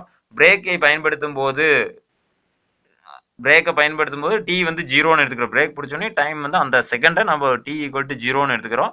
வெலாசிட்டி கொடுத்துட்டான். டுவெண்ட்டி ஃபோர் அந்த வேகத்தில் வந்துடும் இது ரெண்டையும் எடுத்து சப்ஸ்டியூட் பண்ணால் சி கான்ஸ்டன்ட் டுவெண்ட்டி ஃபோர்னு வந்துருங்க. அதை எடுத்து சப்ஸ்டியூட் பண்ணிட்டான். இது வந்து என்ன வெலாசிட்டி ஈக்குவேஷன் கிடைச்சிருச்சு. இப்போ இதிலிருந்து நம்ம எஸ்ஸை கண்டுபிடிக்கலாங்க. இந்த டிடி அந்த பக்கம் மறுபடியும் அனுப்பிச்சுட்டு எஸ் மறுபடியும் ஒரு ஆன்டி டெரிவேட்டிவ் பண்ணோம்னா லெஃப்ட் சைடு எஸ் கிடச்சிருங்க. அந்த சைடு இது அந்த பக்கம் போகும்போது இதை அப்படியே இன்டகிரேட் பண்ணோம்னா நமக்கு இப்படி ஒரு ப்ளஸ் கேன்னு ஒன்று பேர் வச்சுக்கிறாங்க அல்ல சி டூன்னு பேர் வச்சுக்கலாம். அப்புறம் சி டூ கண்டுபிடிக்கிறதுக்கு மறுபடியும் பிரேக் பயன்படுத்தும் போது டி ஜீரோவாக இருக்குது வண்டி மூவ் ஆகிருக்காது ஏன்னா வண்டி வந்து என்ன ஆகுங்க தொலைவு எங்கேயும் போயிருக்காது அப்போது அப்படின்னா எஸ் வந்து ஜீரோ அப்படின்னா சி டூவும் ஜீரோ தான் அப்படின்னு நமக்கு வந்துருங்க. இதை எடுத்து இப்படி சப்ஸ்டியூட் பண்ணிடலாம். நான் இந்த ஈக்குவேஷன் வரைக்குமே ஒரு நியூ மெத்தேடில் analytical geometry two dimension ஆல்டிக்கல் geometry வச்சு போட்டிருக்கிறேங்க. வாங்க அது உங்களுக்கு பிடிக்குதான்னு பாருங்க. புதுசாக டிஃப்ரெண்ட் மெத்தேடில் இது வரைக்கும் நான் பண்ணிட்டு வந்தது. இதை எப்போ எங்கே பண்ணி இருக்குன்னு தெரியுதுங்களா? அந்த எக்ஸசைஸில் தேர்டு செம் போட்ட ஞாபகம் இருக்குங்களா? எஃப் டபுள் டேஷ் கொடுத்துட்டு. சேம் அதே மெத்தேடில் இதை போடலாங்க. நீங்கள் பண்ணி பாருங்க. இல்லைன்னா நான் நியூ மெத்தேடில் போடுறேன். பாருங்க அது பிடிச்சிருந்தா லைக் பண்ணுங்க. படம் பிடிச்சிருக்குதுங்களா? படம் எப்படி இருக்குதுங்க. நானே வரைஞ்சேன். பைக்கில் ஹெல்மெட் மாட்டிட்டு போகிறா ஒருத்தன் ஒரு காலேஜ் பையன். பார்த்தா உள்ளுக்கு வந்துட்டு போகிறாப்புல இருக்கு. படம் ஏதோ சுமாராக வரைஞ்சிருக்குதுங்க. எயிட்டீன் ப்ளஸ்ன்னு ஒன்று போட்டிருப்பேன். வெலாசிட்டி டிஎஸ் பை டிடி இவ்வளோ வேகத்தில் கொடுத்துருந்தாங்க கொஸ்டினில் வளரான் பிரேக் பிடிக்கிற டைம் ஆஃப்டர் த பிரேக் அடுத்த பிரேக் பிரேக் பிடிக்கும் போது minus eight metre per second after the brake இவ்வளோ தூரம் ட்ராவல் பண்ணோன்னு இது எவ்வளோ வருது? இந்த டிஸ்டன்ஸ் இந்த பாத் ஈக்குவேஷன் இந்த வண்டி ஓடி ஓடி வந்தது இல்லைங்க. அந்த பாத் ஈக்குவேஷனை கண்டுபிடிச்சிட்டோம்னா நம்ம ஈஸியாக ஆன்சர் பண்ணிடலாம் டேக் டைவர்ஷன் சொல்லி எச்சரிக்கைன்னு போட்டிருக்குது இந்த இடத்துல. குழி வெட்டி இருக்கிறாங்க. இல்லை ஏதோ ஒரு தடுப்பு இருக்குது. ஓகேங்களா அந்த தடுப்பில் மோதாமல் நம்ம பிரேக் பிடிக்கணும்.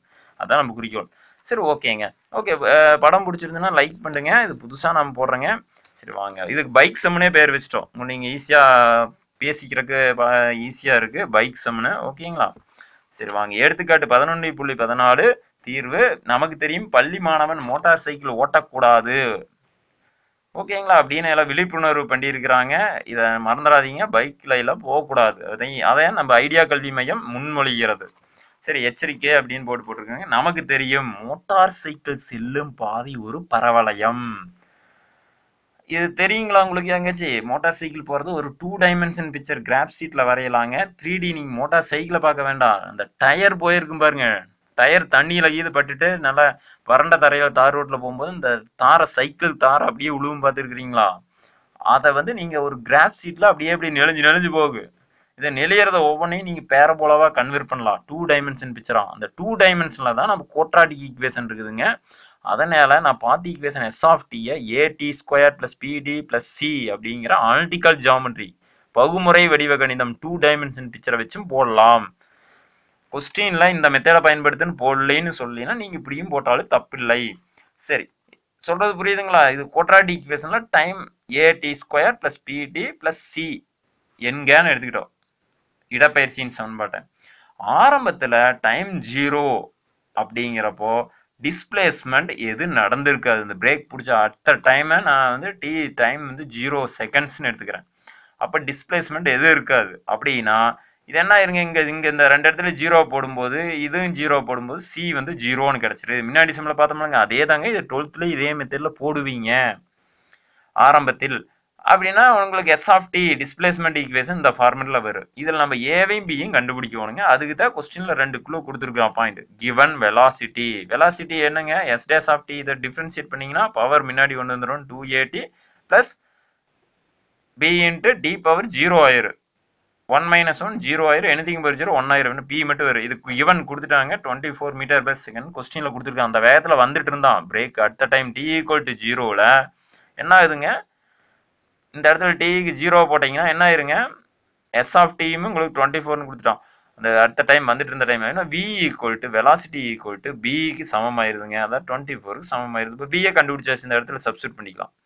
அதே மாதிரி இனிஷியல்ல முடுக்கம் இதை டிஃப்ரென்ஷியேட் பண்ணிங்கன்னா ஒரு கான்ஸ்டன்ட் வந்துருங்க. டூ ஏ டிஏ பண்ணால் டிஃப்ரென்ஷியேட் பண்ணால் வகையிட்டோம்னா ஒன்னாயிருங்க அப்படின்னா டூ ஏ மட்டும் வரும். அது கொஸ்டினில் கொடுத்துட்டா எதிர் முடுக்கம்னா மைனஸ் எயிட்னு எடுத்துக்கலாம். இதுல இருந்து ஏ கண்டுபிடிச்சிங்கன்னா ஆக்சலரேஷன் முடுக்கம் minus four metre per second square நமக்கு கிடச்சிருங்க. சொல்றது புரியுதுங்களா? சைக்கிள் பாதையின் சமன்பாடு சைக்கிள் செல்லும் பாதையின் சமன்பாடு அப்படின்னு சொல்லி இந்த ஏபி ரெண்டை எடுத்து இதில் சப்ஸ்டியூட் பண்ணிங்கன்னா நமக்கு பாதையின் சமன்பாடு பாத் ஈக்குவேஷன் கிடச்சிருங்க ஓகேங்களா இப்போ இதை வச்சுக்கிட்டு இந்த பாத் பேச நமக்கு தெரிஞ்சுன்னா இதைத்தான் நான் உங்கள் புக்கில் எப்படி கொண்டு வரதுன்னு உங்கள் புக் மெத்தேடில் சொன்னேன். ரெண்டு டைம் இன்டகிரேட்டிங் பண்ணால் நமக்கு கிடச்சிரு ஓகேங்களா? ஃபஸ்ட்டு முடுகத்தை பண்ணுவோம். அதில் சம் கான்ஸ்டன்ட் சி ஒன் உங்கள் புக்கில் வச்சுருப்பாங்க.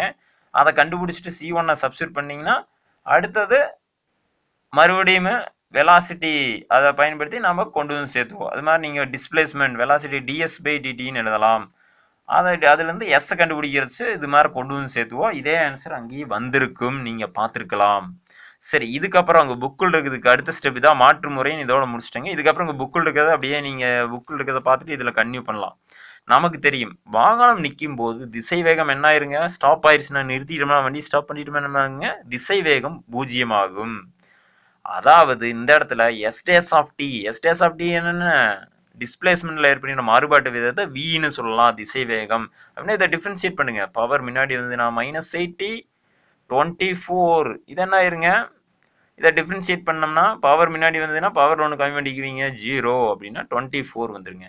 அப்படின்னா இது என்னவா இருக்கும்? ஜீரோவாக இருக்கும். அப்படின்னா இந்த மைனஸ் எயிட் டி அந்தால போனால் plus eight t equal to twenty four t equal to twenty four by eight அடிச்சிங்கன்னா த்ரீ டைம்ஸ் த்ரீ செகண்ட்ஸில் வண்டி ஸ்டாப் ஆயிரு அப்படின்னு தெரியுதுங்க. இது அப்படின்னா என்ன வெலாசிட்டின்னு என்னங்க அவன் அந்த வேகத்தில் வந்துட்டு இருந்தா twenty four kilometre per hour வேகத்தில் வந்துட்டு இருந்தவன். Twenty four sorry twenty four metre per second வேகத்தில் வந்துட்டு இருந்தவன். அப்படியே சடனாக பிரேக் அடிச்சு உங்களுக்கு த்ரீ செகண்டுங்கிறப்பவே பிரேக் அடிச்சு ஸ்டாப் ஆயிருது வண்டி ஜீரோவுக்கு போயிருது வண்டி மூமெண்ட் இல்லை. சொல்லுது புரியுதுங்களா? அதாவது டீ அப்படின்னா எவ்வளவு தொலைவு போச்சு அப்படிங்கிறத எப்படி கண்டுபிடிக்கலாங்க? அந்த பாதையின் சமன்பாட்டில் கொண்டு போய் போட்டோம்னா எது இந்த டி ஈக்குவல் டு த்ரீயை நம்ம எவ்வளவு தொலைவு பயணம் பண்ணி இருக்குது அந்த பிரேக் பிடிச்சி அந்த வெலாசிட்டி ஜீரோ ஆகிறதுக்கு டி ஈக்குவல் டு ஜீரோ வந்து எவ்வளவு தொலைவு பயணமாச்சுன்னு கண்டுபிடிச்சிடலாம். டி ஈக்குவல் டு த்ரீ வினாடியில் சைக்கிள் பயணித்த தொலைவு எவ்வளவு அப்படின்னு கண்டுபிடிக்கிறதுக்கு இந்த இடத்துல இந்த எஸ் ஆஃப் பாதையின் சமன்பாட்டில் கொண்டு போய் சப்ஸ்டியூட் பண்ணுறீங்க த்ரீயை three square nine twenty four into three seventy two minus four into nine minus thirty six plus seventy two less பண்ணால் தேர்ட்டி சிக்ஸ் மீட்டர் ட்ராவல் ஆகிருக்குது மூணு வினாடியில் மோட்டார் சைக்கிள் பயணம் செய்த தொலைவு தேர்ட்டி சிக்ஸ் மீட்டர் இது தடுப்பு இருக்கும் தொலைவை காட்டிலும் குறைவாக உள்ளது. லெஸ் தேன் நாற்பது மீட்டர் எனவே நாலு மீட்டர் முன்பாகவே மோட்டார் சைக்கிள் நின்றுவிட்டது தடுப்பிலிருந்து. எனவே வாகனம் வாகனம் தடுப்பிற்கு நாலு மீட்டர் முன்பே நிற்கும் அப்படின்னு முடிச்சிடலாம். சாலை விதிகளை மதிப்போம் விபத்துக்களை தடுப்போம் என்ற வாசகத்துடன் இந்த வீடியோ தொகுப்பை நிறைவு செய்யலாங்க. ஆக மொத்தத்தில் இது ஒரு நல்ல சூப்பரான இது ஒரு எக்ஸசைஸுங்க லெவன் பாயிண்ட் ஃபோர் பதினொன்றாவது தொகை நுண்கணிதத்தில் சூப்பரான ஒரு எக்ஸசைஸு இதை அப்படியே நெக்ஸ்ட் இயர் நாம் பார்ப்போம் டிஃப்ரென்சியல் ஈக்குவேஷன் அப்படின்னு வகைக்கெழு சமன்பாடுகள் அப்படின்னு ஒரு சாப்டர் இருக்குதுங்க பன்னிரெண்டாம் வகுப்பில். அங்கே நாம் படிப்போம். ஓகேங்களா? அங்கே இதே மாதிரி சேம் ஸ்டெப் வருங்க இன்டகிரேட்டிங் நான் இதை வந்து ஆல்டர்னேட்டிவ் மாற்று முறையில் நான் உங்களுக்கு பண்ணி காமிச்சேன். இதே மாதிரி நீங்கள் இன்னொரு மற்றொரு சம்மை கூட செய்யலாம் அந்த எக்ஸசைஸில் எக்ஸாம்பிள் சம்மில் ஓகேங்களா? அது எந்த சம்மு அப்படின்னு கொஞ்சம் யோசிச்சு பாருங்கள் ஓகேங்களா? சரி பார்ப்போம். வீடியோ பிடிச்சதுன்னா லைக் பண்ணுங்க. மீண்டும் அடுத்த எக்ஸசைஸ் லெவன் பாயிண்ட் ஃபைவ்ல பார்க்கலாங்க. காத்துருங்க. நன்றிங்க. இந்த வீடியோ வேகமாக இருந்திருந்தா பரவாயில்ல. ரொம்ப பொறுமையாகவும் அமைதியாகவும் சுமாராக ஒரு மணி நேரத்துக்கு பக்கம் போயிருச்சுங்க. நான் டைம் குறைக்கணுங்க. வேகத்தை அதிகம் பண்ணி இருக்கிறேன். சரி புரியுன்னு நினைக்கிறேன். நிறுத்தி வச்சு பார்த்துங்க. நன்றிங்க. அடுத்த வீடியோவில் அடுத்த எக்ஸசைஸில் சந்திப்போம். நன்றி. வணக்கம் கூறி விடைபெறுகிறேன். your RGMSC be it.